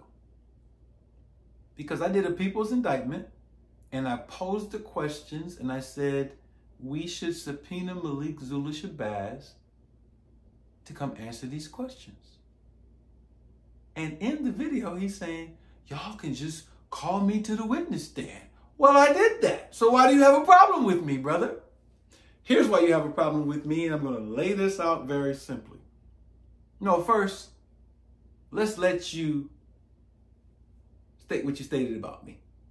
They think that I'm gunning for some kind of spotlight or Right. attention Right. when they totally misread me. Right. I never wanted to be the chairman of the new Black Panther Party. my next I wanted to be his spokesman and his attorney and be me. I was so comfortable being me, Right. and he was perfectly placed at being him. Right. So there was never a thought in my mind, and and for somebody to accuse me of that, and for people like uh, uh, uh, old old no good um, Ali Muhammad Uh-huh. um, to make videos and to try to do all that. Ali Muhammad never called me to the table and say, brother, I got questions about his death, and frankly, sir, I got questions about you. I'll sit with you.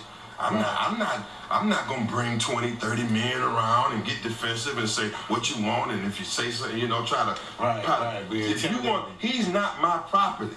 Dr. Muhammad is the property of the black nation. Right. Mm-hmm. But you know, many people try to think that it some has something to do with me blowing up or me getting the attention. Brother, it never it was never like that. I'm totally insulted by that. And really to be honest, I mean I be calm about it, I can take it, but at some at some point I have wanted to hurt people Right. who have said that that, that I would harm the man that meant everything to me in my life. Right, right. Okay, now that being said, Heard it for yourself. Okay, so Malik Zulu Shabazz, you are the one who wrote the report in the Panther News. You're the one who got behind cameras. You're the one who stated that the vomit was collected by you and placed in a secure place, but you left it too long. You are an attorney. You collected evidence from the scene that we never got to test. You also stated that blood was drawn from Dr. Khalid's body and in his sister, quote, Atlanta chapter, according to your report, that you wrote, sabotaged the blood. But you never mentioned her name. Imagine somebody sabotaging blood that we're trying to test to see whether or not uh, poison was given to our brother. And you never mentioned her name. You just said Atlanta chapter sister. Why are you protecting her if she's a possible criminal? So now the vomit is gone, the blood is gone, and you did a report to say Khalid Muhammad died of natural causes. Let's move on. Basically. Then Eric Muhammad, the son of Toure Muhammad, goes and takes footage of the body of Khalid to make sure that there was an autopsy. Y'all confiscated the camera. Y'all have those photos to this day. Because Eric was suspicious. I don't know what he saw when he took those pictures, but y'all took them. Y'all never presented those photos to the public. You say, well, that would desecrate a Muslim's body. Where is that in the Quran? I read all 114 surahs. I ain't never see that. Y'all make stuff up when it's convenient. So here's the thing, dear brother Malik Zulu Shabazz. You've never asked, answered these questions. These questions were posed 10 years ago. According to you, since you mentioned me, you read the questions. And in the interview with Sutek, you didn't answer them. What happened to the vomit? What happened to the blood? Why are you the only one speaking for Kiana Ambush? Why did you and Hashim Nzinga get cool with Minister Farrakhan right after the death again? Why, why, why? And he died of hypertension, or excuse me, cerebral hemorrhage due to hypertension. Dr. Khalid never wanted to work out. That's your words. Hmm. Dr. Khalid was in Jasper, Texas, breaking through barricades from his own mouth in this documentary. You hear him saying that the saltines was tired in that hot heat in Jasper. And y'all was just breaking through barricades. You talking about a man who ate how to eat to live most of his life. Have y'all ever seen Dr. Khalid Muhammad? Shiny face, slim build, always fit. Dr. Khalid, the one who did a speech in New York, which we have on tape, which y'all tried to say he was sick, is on YouTube. Then he traveled down to the NBA All-Star game in Washington, D.C., talking to the, the players, trying to get these young brothers to understand, look, we about to build. Then they drove from Washington, D.C. to South Carolina, ate at a Waffle House, according to y'all. Then he drove all the way to Atlanta, got with his wife, had dinner with her that night, made love. He's doing all of this, and he's sick.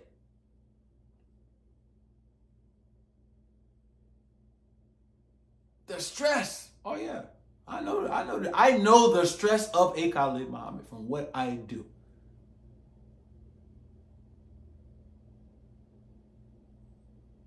Khalid Muhammad was 53 years old.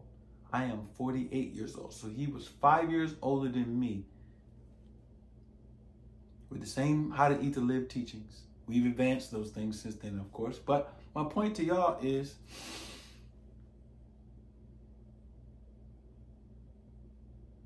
y'all lying. And just like every other assassination that has happened amongst our people, you got a bunch of people pointing fingers to try to confuse people. Here's my summary. And this is, I just have to say this and be careful. My allegations and presumptions are that Minister Farrakhan wanted Khalid Muhammad dead.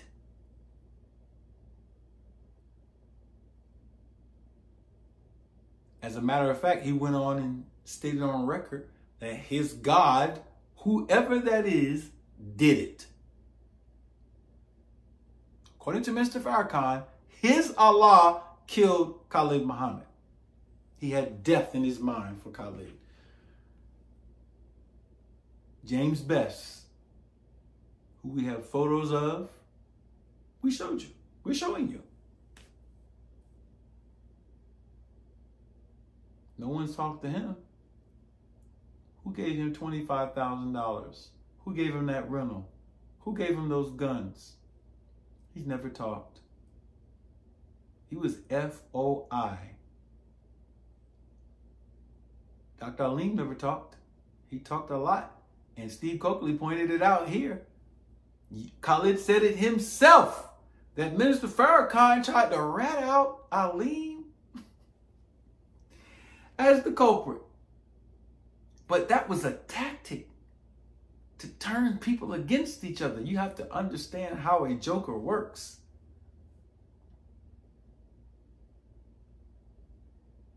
The alliances were made. Everybody went up after Khalid died, who was afraid of him remaining alive.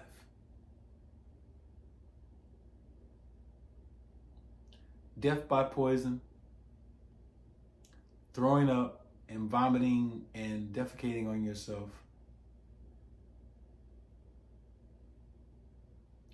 All of that cleaned up, none of it tested by you know who, Malik Zulu Shabazz, according to him.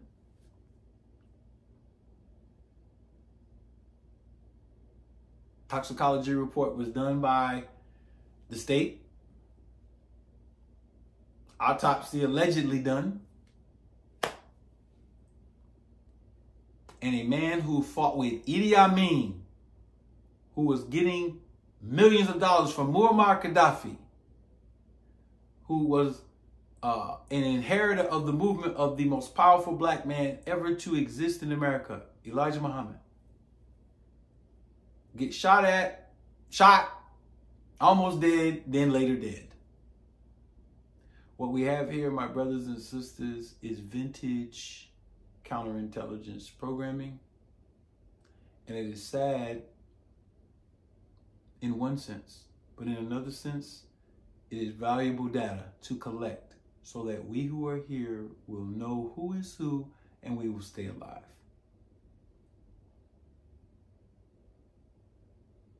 I know what type of agent Malik Zulu Shabazz is. Yeah, we know. We know who you tried to pull up on. One of our brothers.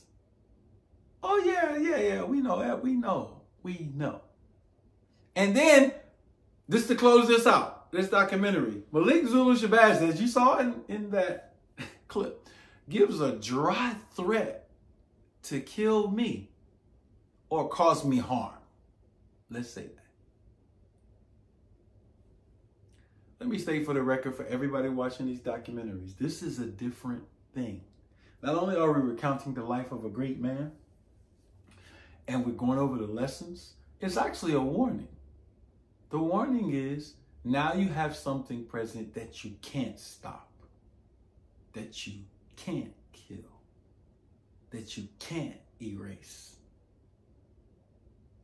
And as Ella May says, you on a shot clock. You on a shot clock. The time is ticking. And we going out Lamar Jackson style, baby. So thank you for tuning in to Aboriginal Global Media. I am your host, Dr. Ali. We will be bringing you more and more documentaries on Dr. Sebi and others and great leaders in the black community. You see our indigenous documentaries. You have documentaries on health and other things. We want to come and tell the real stories of what happened to our people because we love our people and we're here to tell them and to announce to them that success is now present. The victory is here and you should jump on board so that you can sail off into the sunset of Ra, of Hun, and we can live as kinfolk into eternity and we can bury these maggot pathogen Negroes who have taken away from our success because they don't see the bigger picture. Assalamu alaikum. Peace. Hotep. Shalom. All of the great words of peace in indigenous language all across the planet. We love you and we thank you for tuning in. Peace.